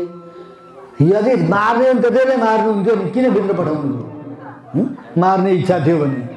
अब यसले मलाई सम्झ्यो होला भगवान्लाई लाग्यो यो मेरो शरणागति हुन्छ होला शरण लिन्छ होला तर ऊ मूर्खले भन्यो किन आउँथ्यो ऊ शरणागति हुन भगवान्ले रावणलाई मार्नलाई प्रयास गर्नु पर्यो होइन भन्ने दृष्टान्त क्या रामायणको श्लोक यो ये वज्रपाता सन सन्निपाता न चक्षुरे नापि चचाल राजा स राम बाणाभीतो वृषार्तस चप चचाल चापम च मुमोच वीर चापम च मुमोच धनुष पनि टुटो त भगवान्ले त्यति बेला चाहिँ किन बाण चलाउनु भएको थियो त मार्न चाहेको थिएन भने? यहाँ कुन वेदान्तको अर्थ फलित हुन्छ थाहा छ तपाईँहरूलाई भगवान्लाई प्राप्त गर्ने उपाय के हो साधन के हो थाहा छ? अब मैले हिजो भने कि अस्तिका दिन भनेको भगवत प्राप्तिको साधन भनेर शरणागतिलाई भारी बोकाइयो भने कस्तो हुन्छ अरे? शरणागतिले मेरो रक्षा गर्छ भनौँ भने कस्तो औँठी जस्तो अरे? भनेको थिएँ? भनेको थिएँ। त्यस्तै अभिमान त्यो पनि। शरणागतिले रक्षा गर्दैन। कसले गर्छ त रक्षा? भगवान् आफैले गर्ने हो। त्यसकारण मेरो रक्षा गर्ने उपाय भगवानै हुनुहुन्छ भन्नु पर्यो शरणागति जस्तोले त रक्षा गर्न सक्दैन अरू रक्षकले रक्षा गर्लान्। रक्षा गरेर रक्षै हुँदैन। तर रावणले के सोचेको थियो? मेरो रक्षा गर्ने साधन भनेर पक्रिएको धनुष।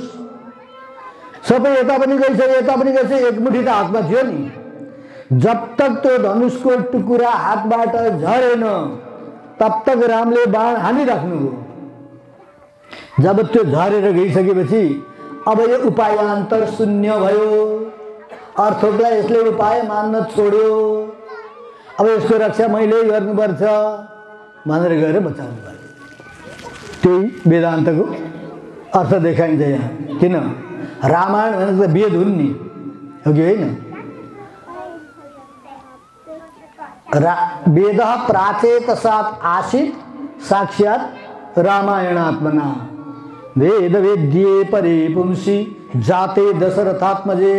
रामायणको पहिल्यै स्वर्ग, सर्गमा, यो श्लोक आउँछ वाल्मिकी रामायणमा वेद वेद्ये परे पुंसी वेद वेद्य वेद प्रतिपादित भगवान् श्रीमन्नारायण प्रभु वैकुण्ठनाथ प्रभु दशरथको पुत्र रामको अब रूपमा अवतरित भएको बेला त्यो भगवान्को गुणगान गाउनका लागि वेद पुरुषहरू वैकुण्ठमा सधैँ गुणगानमा मग्न हुन्थे तिनै वेद पुरुष चाहिँ आज वाल्मिकी महर्षिको मुखबाट अवतरित बने रामायणको रूपले त्यसकारण रामायण भनेको वेद हो। रामायणका प्रत्येक सर्ग पढिसकेपछि के आउँछ यति आर्से श्रीमद् वाल्मिकीय रामायणे आर्स शब्द प्रयोग हुन्छ ग्रन्थका आफ्ना आफ्ना मान्यता हुन्छ। वाल्मिकी महर्षिको रामायण आर्ष हो आर्ष भनेको वेद। त्यस्तै भगवान् श्रीकृष्णले उपदेश गर्नुभएको गीता भनेको के हो? गीतासु उपनिषत्सु गीता भनेको उपनिषद हो। भागवत भनेको के हो? यति श्रीमद् भागवते महापुराणे? पारमहंस्याम संहितायाम भागवत परमहंस संहिता हो परमहंसहरूले मात्रै गाइने वाला। यस्ता आफ्ना आफ्ना हुन्छन् क्या? अझै एउटा पुराण छ जसलाई हामी बराह पुराण भन्छौँ बराह पुराणमा प्रत्येक श्लोकमा यति भगवत शास्त्रै भनिन्छ बराह पुराण भनेको भगवत शास्त्र अरे आफ्ना आफ्ना ग्रन्थका पनि महत्त्व हुन्छन् त्यसमध्येको स्वयं वेदको रूप भएको वाल्मिकीय रामायणमा यो वेदको अर्थ यहाँ देखाइयो। के त भन्दा मेरो रक्षा गर्छु भनेर उपायको रूपमा काम नलाग्ने वस्तु पनि पक्रेको छ भने त्यसको कल्याण हुँदैन। तँलाई त्यही तेरै धनुषले रक्षा गरोस् त्यही एक मुठीले। भगवान्ले बाण हानेको हाने गर्नुभयो। जब छुट्यो यो नियस्ता भयो नि। अब यसको उपाय रक्षा गर्ने उपाय कोही छैन म बाहेक कसैले गर्न सक्दैन। अनि भगवान्ले चाहिँ जा बाबु के भन्दै हुनुहुन्छ अगाडिको श्लोक गच्छानु जानामि रणार्दितस्त्वम यो पनि वाल्मिकी रामायणकै हो श्लोक। गच्छानु जानामि रणार्दितस्त्वम प्रविश्य रात्रञ्चर राजलङ्काम् आश्वास्य निर्याहिति प्रयुक्त्वा यसरी भगवान्ले रावणलाई मिठो बोली बोलेर जा बाबु गएर विश्राम गर पठाइदिनु भयो भोलिसम्म बुद्धि सप्रेला कि भनेर यही कुरोलाई अनुसन्धान गर्दै हाम्रो आचार्यहरूको अति मानुस्तव नाम गरेको स्तोत्रमा अनुसन्धान गर्नुहुन्छ कसले? कुरेश स्वामीले कसले? कुरेश स्वामी भगवान्को श्रीवत्स चिन्हको अवतारको रूपमा। कुरेशको रूपमा चाहिँ भगवान्ले लगाउने श्रीवत्स चिन्हले नै अवतार लिएको जल्दो बल्दो बोल्दो बोल्ने मानिसको रूपमा। के भन्नुहुन्छ? एतादृशाग समरिम रघुवीर विश्राम्यतामिति मुमोचित मुग्धमाजौ कोऽयं गुणः कियान् वा पदमहोबत भूमि। हे भगवान्, कस्तो गुण त हजुरको। श्रीमतीलाई लिएर गयो लगेर बन्दी बनाएर राखेको छ। त्यसलाई समाप्त पार्न भनेर भयङ्कर डरलाग्दो सयौँ कोषको समुद्रमा पुल बाँधेर यहाँ आएर नाना प्रकारका राक्षसहरूसँग भिड्दै भिड्दै आज हातमा आएको शत्रुलाई पनि जान त है त तयार भएर आउलास पठाइदिने कस्तो गुण हो हजुरको? कुरै स्वामीले अनुभूति गर्नुहुन्छ। त्यति दयालु कुनै देउता होला? छ कहीँ? कोही पनि छैन। त्यसकारण शरणागति गर्ने भनेको त्यस्तै गुण विशिष्ट व्यक्तिको। अरूले पार लगाउँदैनन्। यही कुरो यहाँ बताइन्छ। यस्तरी इति खलु गुणनिबद्ध गुणविद्याः महान्तो अनुसन्धते तत्तादृशा अनेक गुणगण प्रदर्शनार्थम एव कृतावतार भक्तो रामजस्य त्यसकारण आफ्ना यस्ता प्रकारका अतिशय वात्सल्य भरित दया दाक्षिणी आदिले युक्त भएका गुणलाई प्रकाश गर्नका लागि नै भगवान्ले त्यत्रो लामो प्रयास गर्नुभएको अरे रावणलाई मार्नलाई। कुरो बुझ्यो नि अब त? त्यसकारण प्रयास गर्नु पर्याप्त थिएन। सजिलै मार्नुभयो। अब लीलया शब्दको व्याख्या हो यो सबै। लीलापूर्वक नै रावणलाई मार्ने भनेर कृष्णस्य रामस्य कीर्त्य कीर्ति गायन्ति गोपाल बालिका अखिलापि व्रतानुष्ठान उपैकम साङ्केत विश्व गोपी भी उक्तमती अन्तस्थिता गोपी प्राह। अब यहाँ बाहिरका गोपिनीहरूले भित्रका गोपिनीलाई के भने हामी यस्ता प्रकारका अरे क्या कृष्ण चरित्र बकासुरलाई समाप्त पार्नेवाला कृष्णका चरित्र रावणलाई समाप्त पार्नेवाला रामका दिव्य चरित्रहरूको अनुसन्धान गर्दै गर्दै व्रतस्थलीमा प्रवेश गरिसकेका छौँ। तिमी चाहिँ किन नउठे कि यति बेर? त्यही हो नि त। यदि बालिका यथा एवं कालस्य अनवद बोधेन अकाले गतास्यु तथापि विवेकिनीभि अस्माभि तथा न गन्तव्यम अकाले। अब यहाँ भनिन्छ व्रतस्थलीमा पुगिसके भन्दा फेरि कसैको घरमा गएर हल्ला गर्दैछन्? यो पनि कुरो मिल्ला त? त्यही कुरो एउटा एउटा प्रसङ्ग अर्कै किसिमले अर्को प्रसङ्ग अर्कै किसिमले बताउनु त भएन नि। पहिला भनियो व्रतको अनुष्ठान गर्ने स्थलमा गोपिनीहरू पुगिसके। फेरि हामी तिमीलाई बोलाउन आएका कसरी कुरो मिल्यो त?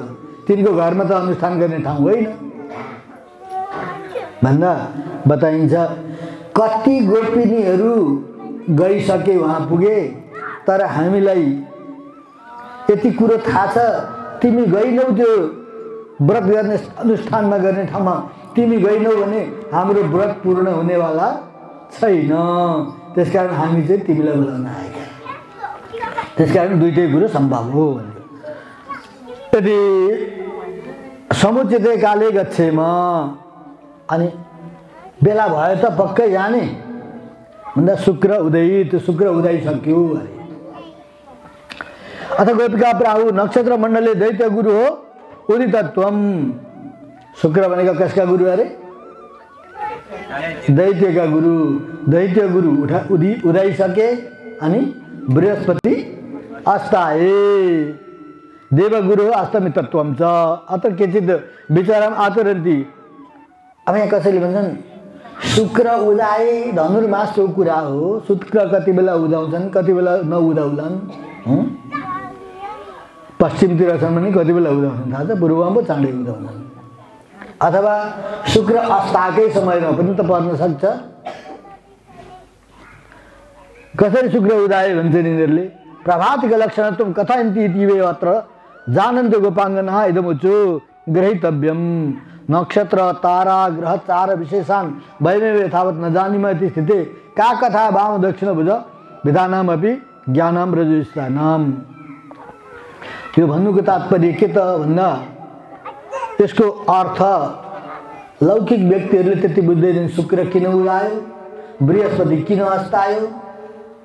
यसको प्रसङ्ग एकछिन पछाडि म तपाईँहरूलाई सुनाउँला भन्दै हुनुहुन्छ यहाँ? थाती राखियो शुक्र उदाएको बृहस्पति अस्ताएको कथा अहिले बताउँला।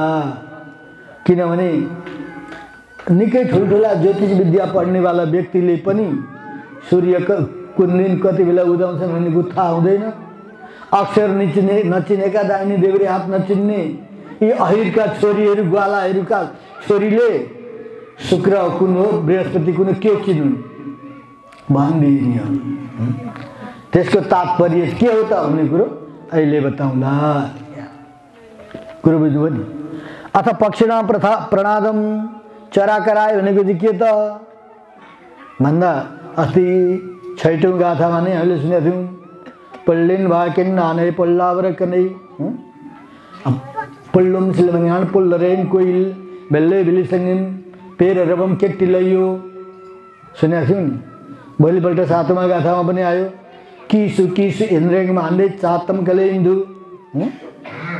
चराहरू त्यसरी कराएका हुन्। वृक्ष सण्डस्थ कुला कुलाय सुजात अपक्षिणाम प्रणाद पुरा प्रोक्त। यतु असनार्जन कामनया बहि विश्रीणानाम वेगानाम कल कल गहितुम योग्य अघिको त्यो अस्तिको छैटौँ गाथा सातौँ गाथाको चरा कराए भनेको चाहिँ उति बेलादेखि कराएका चरा अझै कराइराखेका रहेछन् त? भन्दा त्यति बेला चाहिँ बिहान जुरुक्क उठेर साथीहरूलाई उठाउनलाई हल्ला गरेका थिए चराहरूले। अहिले चाहिँ चारो खोज्ने बेला भयो भनेर हिँड्नलाई हल्ला गर्दै रहेछन् क्या त्यो कुरो यहाँ बताउनु।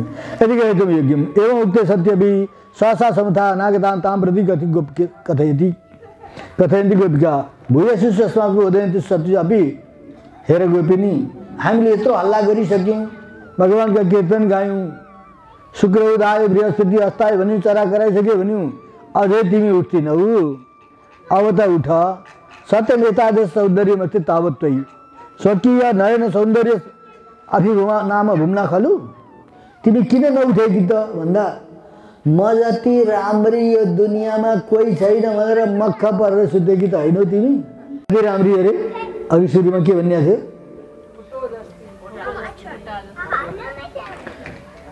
भर्खर फक्रिँदै गरेको पुष्पमा बसेको भमरा जस्तै नेत्र भएकी र तिम्रो आकृति स्वरूप फ़ोटो जस्तै अरे क्या यही अभिमानले तिमी चुप्प लागेर सुतेकी हौ छोडिदेऊ तिमी राम्री हो नि आफ्नो ठाउँमा तर आउनु त आऊ। सत्यले त ताजे सौन्दर्यमस्ति तावत्वै अनेन सौन्दर्यन भगवन्तं वशीकृत्य तस्याम् अस्माभि अपि अनुभुक्तव्यता सम्पादनमेव युक्तम र म यति राम्री छु। भनेर भगवान् श्याम सुन्दर श्रीकृष्णले पनि तिम्रो सौन्दर्यमा लट्टु भएर कुरो बुझेको हो नि? तिम्रो सौन्दर्यमा लट्टु भएर भगवान्ले तिमीलाई हेरेको हेरे गर्नुभयो। तिमी मुग्ध बन्यौ अनि भगवान्ले आफ्नो बसमा बनाएर एक्लै अनुभव गर्थ्यौ होइन? त्यसो गर्न पाइँदैन। भगवान् भनेको साझा हो साझा सबैको। हाम्रो साथमा अनुभव गर्नुपर्दछ उठ। त्यसको लागि चाहिँ सौन्दर्यको वर्णन गरेका अरे। अनि यो चिसो पानीमा गएर चुल्लुममा डुब्न छोडेर के यस्तो सैयामा सुतिराखेकी? इदानीं त्वया निद्रा नैव क्रियते अपि तु भगवद्गुणा भगवत् क्रियते। यदि तु वयं जानीमः अस्माभिः सह मिलित्वा कर्तव्यं हामीलाई थाहा छ तिमी आँखा चिम्लेर निराइरहेकी त छैनौ पक्कै पनि भगवत गुण सौन्दर्यमा मुग्ध भएर भगवान् भगवत अनुभव गरेर नै मस्त छौ। त्यो कुरो हामीलाई थाहा छ तर एक्लै मिठो कुरो खान मिल्दैन। चोरेको भन्छन् त्यसलाई? कसैलाई नबाँडिकन एक्लै खायो भने के हुन्छ? गाड निक्लिन्छ अरे। हुँ? गरुड पुराण सुनेको छ? सुनेकै छैन सुन्नुपर्छ त्यो पनि कहिले काहीँ मिठो कुरो कसैलाई नबाँडी एक्लै खान्छ भने त्यसको गलामा गाँड निस्किन्छ अरे। शास्त्रले त त्यसो भन्छ अनि एक्लै अनुभव गर्ने हो तिमीले? एक स्वादु नभुन्जित शास्त्रले पनि त्यो भन्छ। यो कुरो बुझेकी छैनौ? हामीलाई पनि प्रदान गर। चौर्य प्राय प्राय एव खलु। यो त चोरी गरे जस्तै भयो सखी। अनुचितमिदम। अन्हाय विहाय क्षिप्रम आस्मा विश्वास सम्मेता भव। त्यस कारण दौडेर आएर हामीसँग मिल। यसरी यो गाथाको विवरण यो हो। यो यसलाई भनिन्छ अन्यापदेश।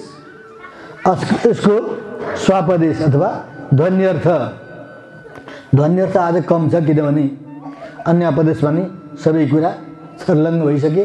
दुई चारवटा कुरा ध्वन्यर्थमा हेरौँ गाथायाम श्याम एउटा भजन गाएर अनि ध्वन्यर्थ भन्नुपर्छ भनेर सुनेका छन् हाम्रो भाइहरूले हिजो अस्तिदेखि भजन गाउनलाई कसेर आइपुगे राम लक्ष्मण अब सुनौँ हामी राम लक्ष्मणको भजन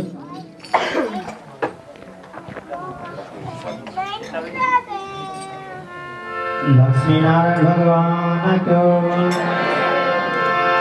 राम लक्ष्मण सीता हनुमान ल हनुमान पनि आउनुभयो ठ्याक्कै। अब सुरु भयो है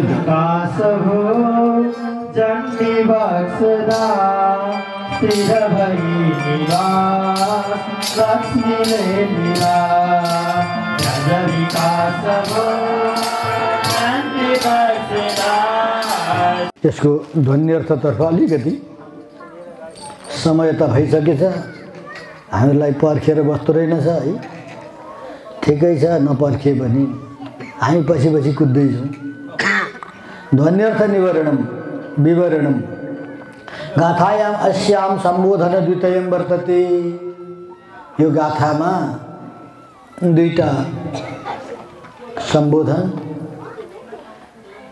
हामीले त्यो दुइटै सम्बोधन आचार्यको निमित्त भनेर सम्झनु पर्दछ। हाम्रो गुरुदेवको निमित्त भनेर सम्झनु पर्दछ। एउटा नयन सौन्दर्य अर्को पातिव्रत्य धर्म। पतिव्रता धर्मको कतो दुहाई दिएका थिए अघि। यद्यपि राम र कृष्ण एउटै रहेछ भन्ने कुरो थाहा पाएपछि बल्ल समाधान भयो। होइन भनेदेखि कृष्णको स्थानमा आएर रामको नाम जप्छ भनेदेखि त्यो चाहिँ परपुरुषको प्रशंसा गरे जस्तो आफ्नो पतिलाई छोडेर परपुरुषको प्रशंसा गरे जस्तो हो भनेर चाहिँ झगडा गर्न लागेका थिए नि गोपिनीहरू तर भरे त्यो धर्म धर्म मात्रै अलग हो धार्मी एउटै हो अरे क्या धर्म र धर्मी भनेको थाहा छ कि छैन तपाईँहरूलाई? धर्म धर्मी धर्मी भनेको व्यक्ति हो धर्म भनेको उसका गुण हुन्? कुरो बुझ्यो नि धर्म र धर्मी भनेको त्यति अन्तर हो तर धर्मी एउटै हो व्यक्ति एउटै हो धर्म चाहिँ अहिले कृष्ण भयो पहिला राम थियो अलग अलग देखियो तर एउटै हो यो कुरो बुझेपछि यिनीहरू चाहिँ बोलाएका थिए यी दुईवटा कुरालाई यहाँ जोड दिइएको छ भनौँ धेरैमा प्रशंसा नगरौँ एतेन सदाचार्य ज्ञान सम्पद समृद्धत्व पारमैकान्त्यम च प्रतिपादितम भवति। दुईवटा कुरा बताइयो। एउटी सखीको दृष्टान्त के दिइएको थियो अरे? कति राम्री अरे? भमरा जस्तै आँखा भएकी या कमलको पुष्पमा बसेको भमरा जस्तै नेत्र भएकी भनेर नयन सौन्दर्यको वर्णन गरियो। ती सखी को थिइन् त भन्दा हाम्रो आचार्य? हाम्रो गुरुदेव हाम्रो आचार्यका आँखा त्यति नै राम्रा छन् अरे कति राम्रा त भन्दा भ्रमहरू जस्तै। कसरी? मैले अस्ति पनि भनेको थिएँ नेत्र राम्रा कसका हुन्छन् आँखा कसका राम्रा हुन्छन् जसले धेरै शास्त्रको अध्ययन गरेको छ पढेको छ। राम्रा आँखा थिएर त पढ्न भ्यायो त? आँखै नभएकाले पढ्ला त। कहीँ कहीँ त पढ्छन् प्रज्ञा चक्षुद्वारा पनि। ज्ञान नेत्रद्वारा पनि पढेका पाइन्छन्। एकजना राघवाचार्य भन्ने आचार्य हुनुहुन्थ्यो वृन्दावनमा। कहिले चित्रकुटमा बस्नुहुन्थ्यो चित्रकुटमा बसेरै परमपद हुनुभयो उहाँ। दुइटै आँखा थिएनन् उहाँका। सुरदास सुरदास भन्थे।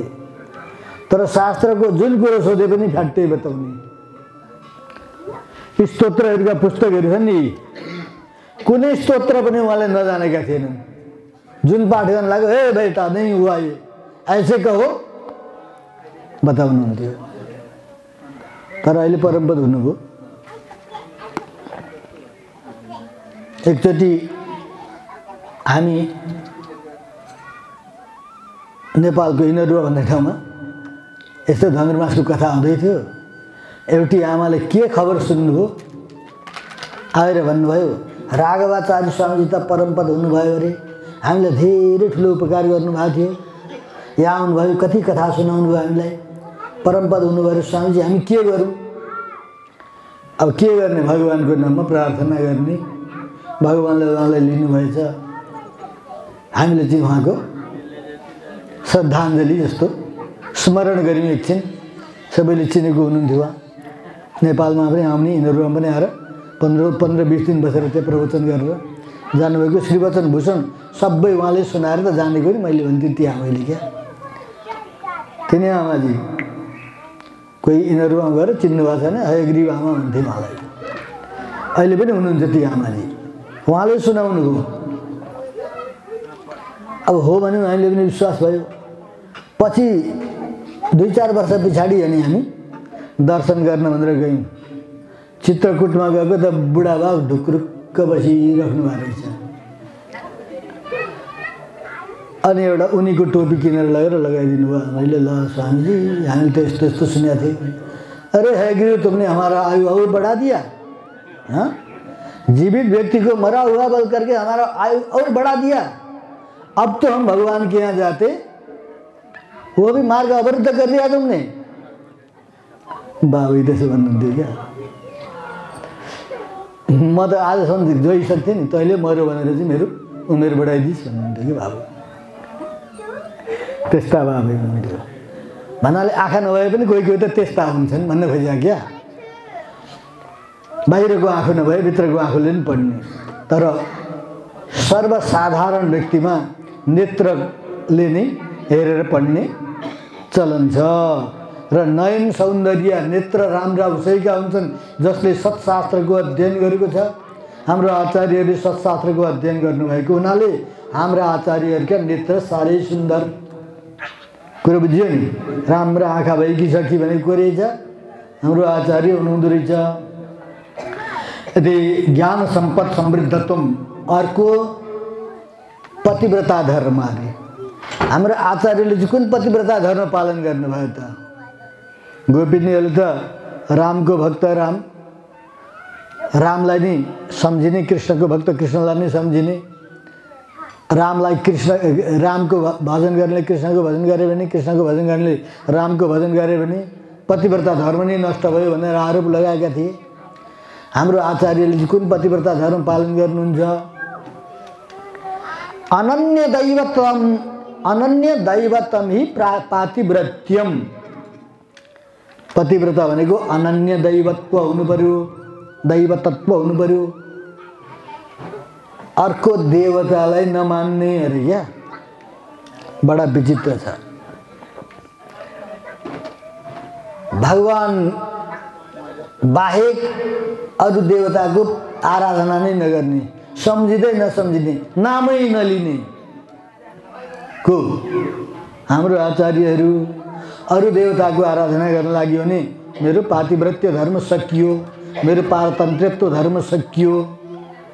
म पनि पञ्चामृत बने। हो कि होइन भन्नु त? भन्दैनन् पञ्चामृतै भएछ भन्नु नि। सबैतिर गङ्गा गए गङ्गादास जमुना गए जमुनादास? गङ्गादास हो जमुनामा गएर स्नान गर्छ भने म गङ्गादासै हो भन्नु पऱ्यो। अडिग हुनुपर्छ। आफ्नो धर्ममा आफ्नो मान्यतामा आफ्नो इष्टदेवमा अकाट्य हुनु पर्यो। बुझ्यो नि कुरो हाम्रो आचार्यहरू त्यस्तो हुनुहुन्थ्यो। भागवत विस्मरणले सत्यपि अब यहाँ एउटा दृष्टान्त यस्तो दिइन्छ। पातिव्रत्य धर्मबाट आचार्यलाई अनन्य दैव तत्त्वको प्रतिपादन यसरी गरिन्छ नि। भलै? भलै पतिव्रता नारीले आफ्नो घरको आफ्नो श्रीमानको सेवा शुश्रूषा। जुन सेवा चाहिँ पत्नीले मात्रै पतिको गर्दछन् अरू नारीले अर्का पतिको गर्दैनन् त्यस्तो सेवा गर्ने पतिव्रता नारीले भलै आफ्ना पतिको सेवा नगरून्। आफ्नो पतिको सेवा छुटोस् तर त्यस्तो खालको सेवा परपतिको चाहिँ गर्नै हुँदैन। मान्नुहुन्छ यो कुरो? पक्कै मानिन्छ नि होइन त? सेवा धेरै प्रकारका हुन्छन्। कुनै कुनै सेवा यस्ता हुन्छन्। पत्नीले आफ्नै पतिको मात्रै सेवा गर्छन् परपतिको सेवा गर्यो भने तिनको पातिव्रत्य धर्म नाश हुन्छ। तर बरु आफ्नो पतिको सेवा नगरे नगरून्। परपतिको त गर्नै हुँदैन। बुझ्यो नि कुरो? हाम्रो आचार्य त्यस्तै हुनुहुन्छ भन्नु खोजेको बरु भगवान्को सेवा छुट्यो भने छुटोस्। देवतान्तरको आराधना गर्दै नगर्ने। त्यस्तो हाम्रो आचार्य हुनुहुन्छ। वैष्णवता भनेको त्यो हो वैष्णवत्व भनेको त्यो हो। देवतान्तर उपायान्तरमा जबसम्म लागिरहन्छ नि मर्नका लागि सन्निपात भएको व्यक्तिलाई अब चाहिँ गीता गङ्गाको कुरा गर्न छोडेर बाख्राको छाला लगेर ढ्याङ ढ्याङ ढ्याङ ढ्याङ ढ्याङ गरेर कुखुराको चल्ला लगेर मन साह्रै यसलाई चाहिँ म निको पार्छु भन्नु जस्तै हो? देवतान्तरको पूजा आराधना गर्नु पारमैकान्तिक वैष्णवले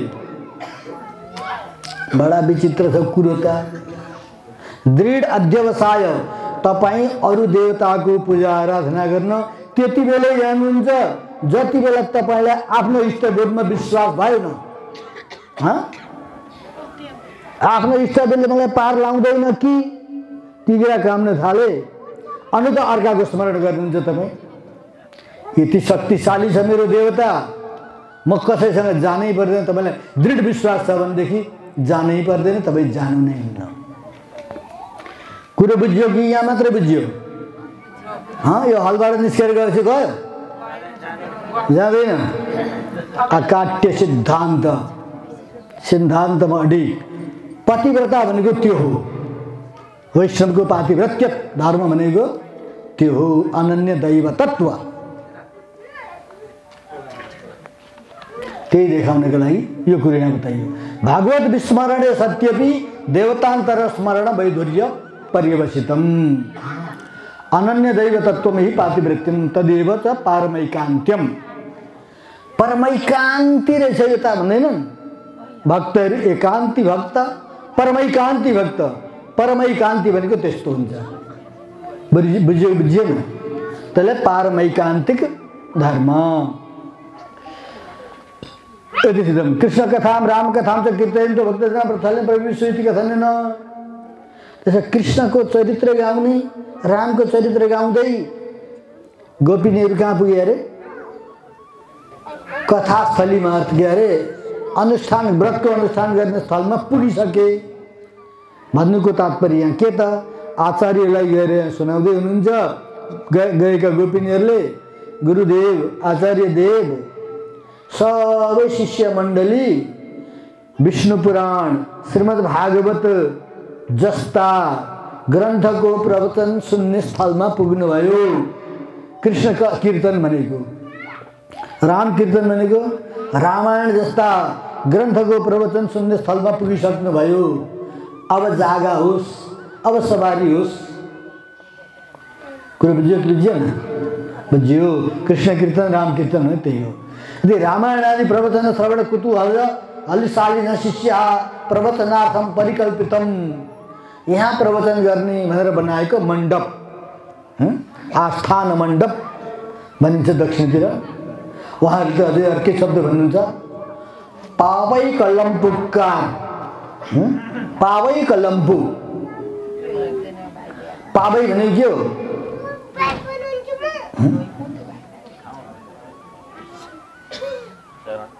पाबै भनेको तिरु पाबै भनेको के हो? तिर- भनेको श्री पाबै भनेको व्रतम व्रत हो?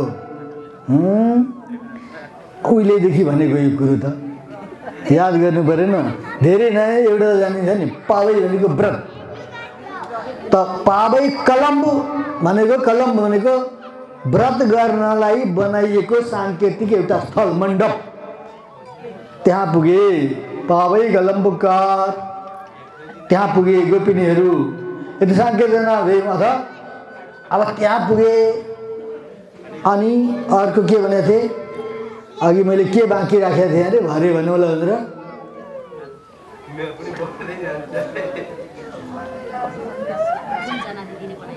यस्तो उत्सुकता नै छैन खै कथा सुन्ने यो कुरो चाहिँ म भरे बताउनु भनेको थिइनँ के उदाएको थियो अरे त्यति बेला? शुक्र उदाएको बृहस्पति हस्त आएको भन्ने चाहिँ यो स्वापदेशलाई राखिएको अर्थात् ध्वनि अर्थलाई शुक्र भनेको के हो? कसको देवता अरे? कसको गुरु अरे? दैत्यको गुरु उदायो। अनि बृहस्पति भनेका देवताका गुरु अस्ताए दैत्यहरू कस्ता हुन्छन् तामसी हुन्छन्। तमो गुणको उदय भयो हामीमा। अब हामी बिग्रिन लागिसक्यौँ। बृहस्पति भनेका देवताका गुरु हुन् सत्वगुणी। हाम्रो सत्वगुण अस्ताइसक्यो अब पनि उपदेश नगर्ने त हामीलाई। अथवा शुक्र उदाए यो ग्रन्थको संरचना कहिले भएको थाहा छ? कुन युगमा भएको? कलियुगमा। गोदाम्बाको अवतार कहिले भएको कलियुगमा। कलियुग जस्तो तामसी युग। शुक्राचार्यको दृष्टान्त। कलियुग लाग्यो। अनि बृहस्पति जस्ता सत्य त्रेता द्वापर युग अस्ताइसके कलियुग लागेको छ। त्यसकारण अब आएर हामीलाई यो कलिले प्रभाव नपार्ने प्रकारको उपदेश गरिदिनु पऱ्यो स्वामीजी त्यही प्रार्थना गरेको कुरो बुझ्यो नि? हे आचार्य मढे भागवत उपदेशात् अत्यावश्यकम् इत्युक्तं भवति पक्षिणां कोलाहलस्य प्रत्यभिज्ञापनेन उच्चैरे गतिप्रेषाशालिनां सत्शिष्याणां मनोरथानाम् अतटः प्रवाह सम्बन्ध समे समेधन्त। चराहरू खुब हल्ला गर्दैछन् अरे क्या? चराहरू करायो भनेको थिएन चराहरू करायो भनेको शिष्यहरू यस्तो प्रवाहित भएर दौडेका छन् चरा जस्तो कोलाहल गर्दै तछाड र मछाड गर्दै। मानिले एउटा नदी थियो नदीको तटबन्ध थियो तटबन्धलाई भत्काएर नै भाग्यो अरे नदी।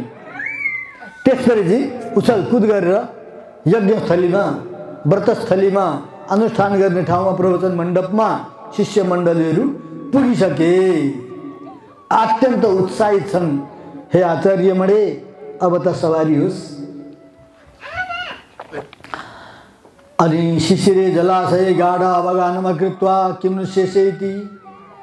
चिसो ठन्डा जलमा चुर्लुम्म डुब्न छोडेर के सुतिराखे कि भनेको थिएन अघि चिसो जल भनेको शीतल जलमा डुब्दाखेरि आनन्द हुन्छ अरे। भित्र सुत्नुको तात्पर्य के त भन्दा एक्लै बसेर धुमधुम त भएर अनुसन्धान गरेर ग्रन्थ अध्ययन गरेर बस्नु भएको छ। यो उचित होइन यो त चोरी हो। हामीलाई पनि दिनुहोस् त्यो वस्तु। सबैलाई बाँडिदिनु भने शीतल हुन्छ नि हामीलाई पनि। आनन्द हुन्छ नि। शीतल जल भनेर त्यही त हो। यसरी चाहिँ समीचीन वयम समेति कथनेन वक्ता श्रोता दुर्लभ राम्रो समय आइला आइपुगेको छ अहिले। भन्नाको तात्पर्य के त भन्दा वक्ता श्रोता चाहिँ दुर्लभ भनेको छ शास्त्रले सत ग्रन्थहरूको उपदेश गर्नेवाला वक्ता भेटिनुहुन्न वक्ता भेटिनुभयो भने श्रवण गर्ने श्रोता भेटिनुहुन्न तर अहिलेको समय यस्तो छ दिव्य वक्ता पनि हजुर जस्तो दिव्य ज्ञानी सत्शास्त्रको ज्ञाता श्रोता पनि हामी जस्ता धैर्य धैर्य धारण गरेर श्रवण गर्न सक्ने हामी श्रोता पनि छौँ। त्यस कारण यो समय साह्रै राम्रो अरे कति बेला सुन्नुपर्दो रहेछ त्यो कथा? शुक्र उदायको बेला हो कि बृहस्पति उदायको बेला हो कि तारा अस्ताएको बेला हुँदैन भन्छ भन्दैनन्? त्यो होइन। जति बेला दुर्लभ आचार्यको आगमन हुन्छ सद्ज्ञानीको आगमन हुन्छ सुनिहाल्ने हो क्या बुझिहाल्ने हो चाहे जुनसुकै होस् नि समय। बृहस्पति अस्ताइसकेका छन्। बृहस्पति अस्ताउन लाग्यो भने सुरी गरिहाल्नुपर्छ उदाउँछन् बृहस्पति। कुरो बुझ्यो नि? त्यही कुरो हो। त्यस कारण श्रोता छ दुर्लभ यमुनाचार्य स्वामीले के भन्नु भगवान्लाई? हुँ? तदहं त्वदृते न नाथवान् मदृते त्वं दयनीयवान् न च। विधिनिर्मितम् एतत् अन्वयं भगवन् पालय मास्म जिहप। आउँछ नि श्लोक है। के भनेको यो? बताउँदै बताउँदै बताउँदै गएर यति कारणले हे भगवान् अहम भनेको म चाहिँ त्वद रिते ननाथवान। हजुरले छोड्नुभयो भने हजुरले छोडिदिनु भयो भने मेरो रक्षा गर्नेवाला कोही हुँदैन म नाथवान भइन म आरक्षक हुन्छु। तद अहम त्वदृते ननाथवान त्यस्तै मद रिते त्वम दयावी नियवान न मलाई छोडेर हजुरले दया गर्नेवाला अर्को भेट्दा पनि भेट्नुहुन्न। अरूलाई दया गर्नु हुने मैले चाहिँ गर्नुपर्ने के कारण? भन्नु होला भगवान्?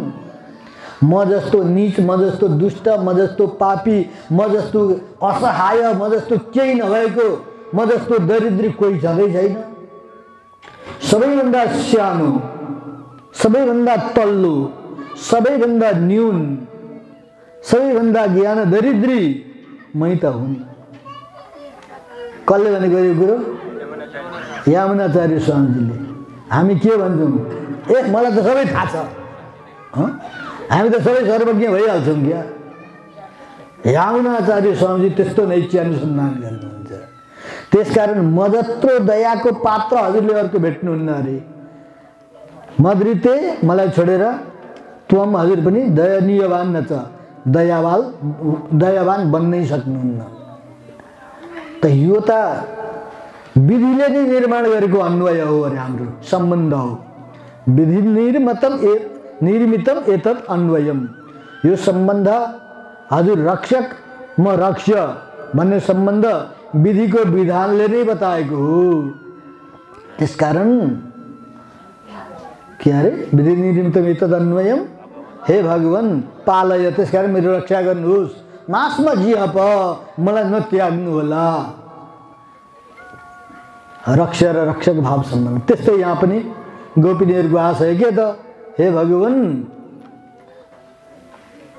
हजुरले हामी जस्ता श्रोता पनि भेट्टाउनुहुन्न हामीले पनि हजुर जस्तो वक्ता भेट्दैनौँ यो विधिले नै निर्माण गरेको कुरो हो त्यसकारण अत्यन्त परम पावन समय छ गोपिनीहरूले यस्तै अनुभव गर्दै गएर व्रत गरेका थिए होला भनेर गोदाम्बाजीले दिव्य अनुसन्धान गर्नुभएको दिव्य गाथा जसलाई हामी त्रयोदशी गाथा भनियो तेह्रवा गाथाको कथा यहाँ।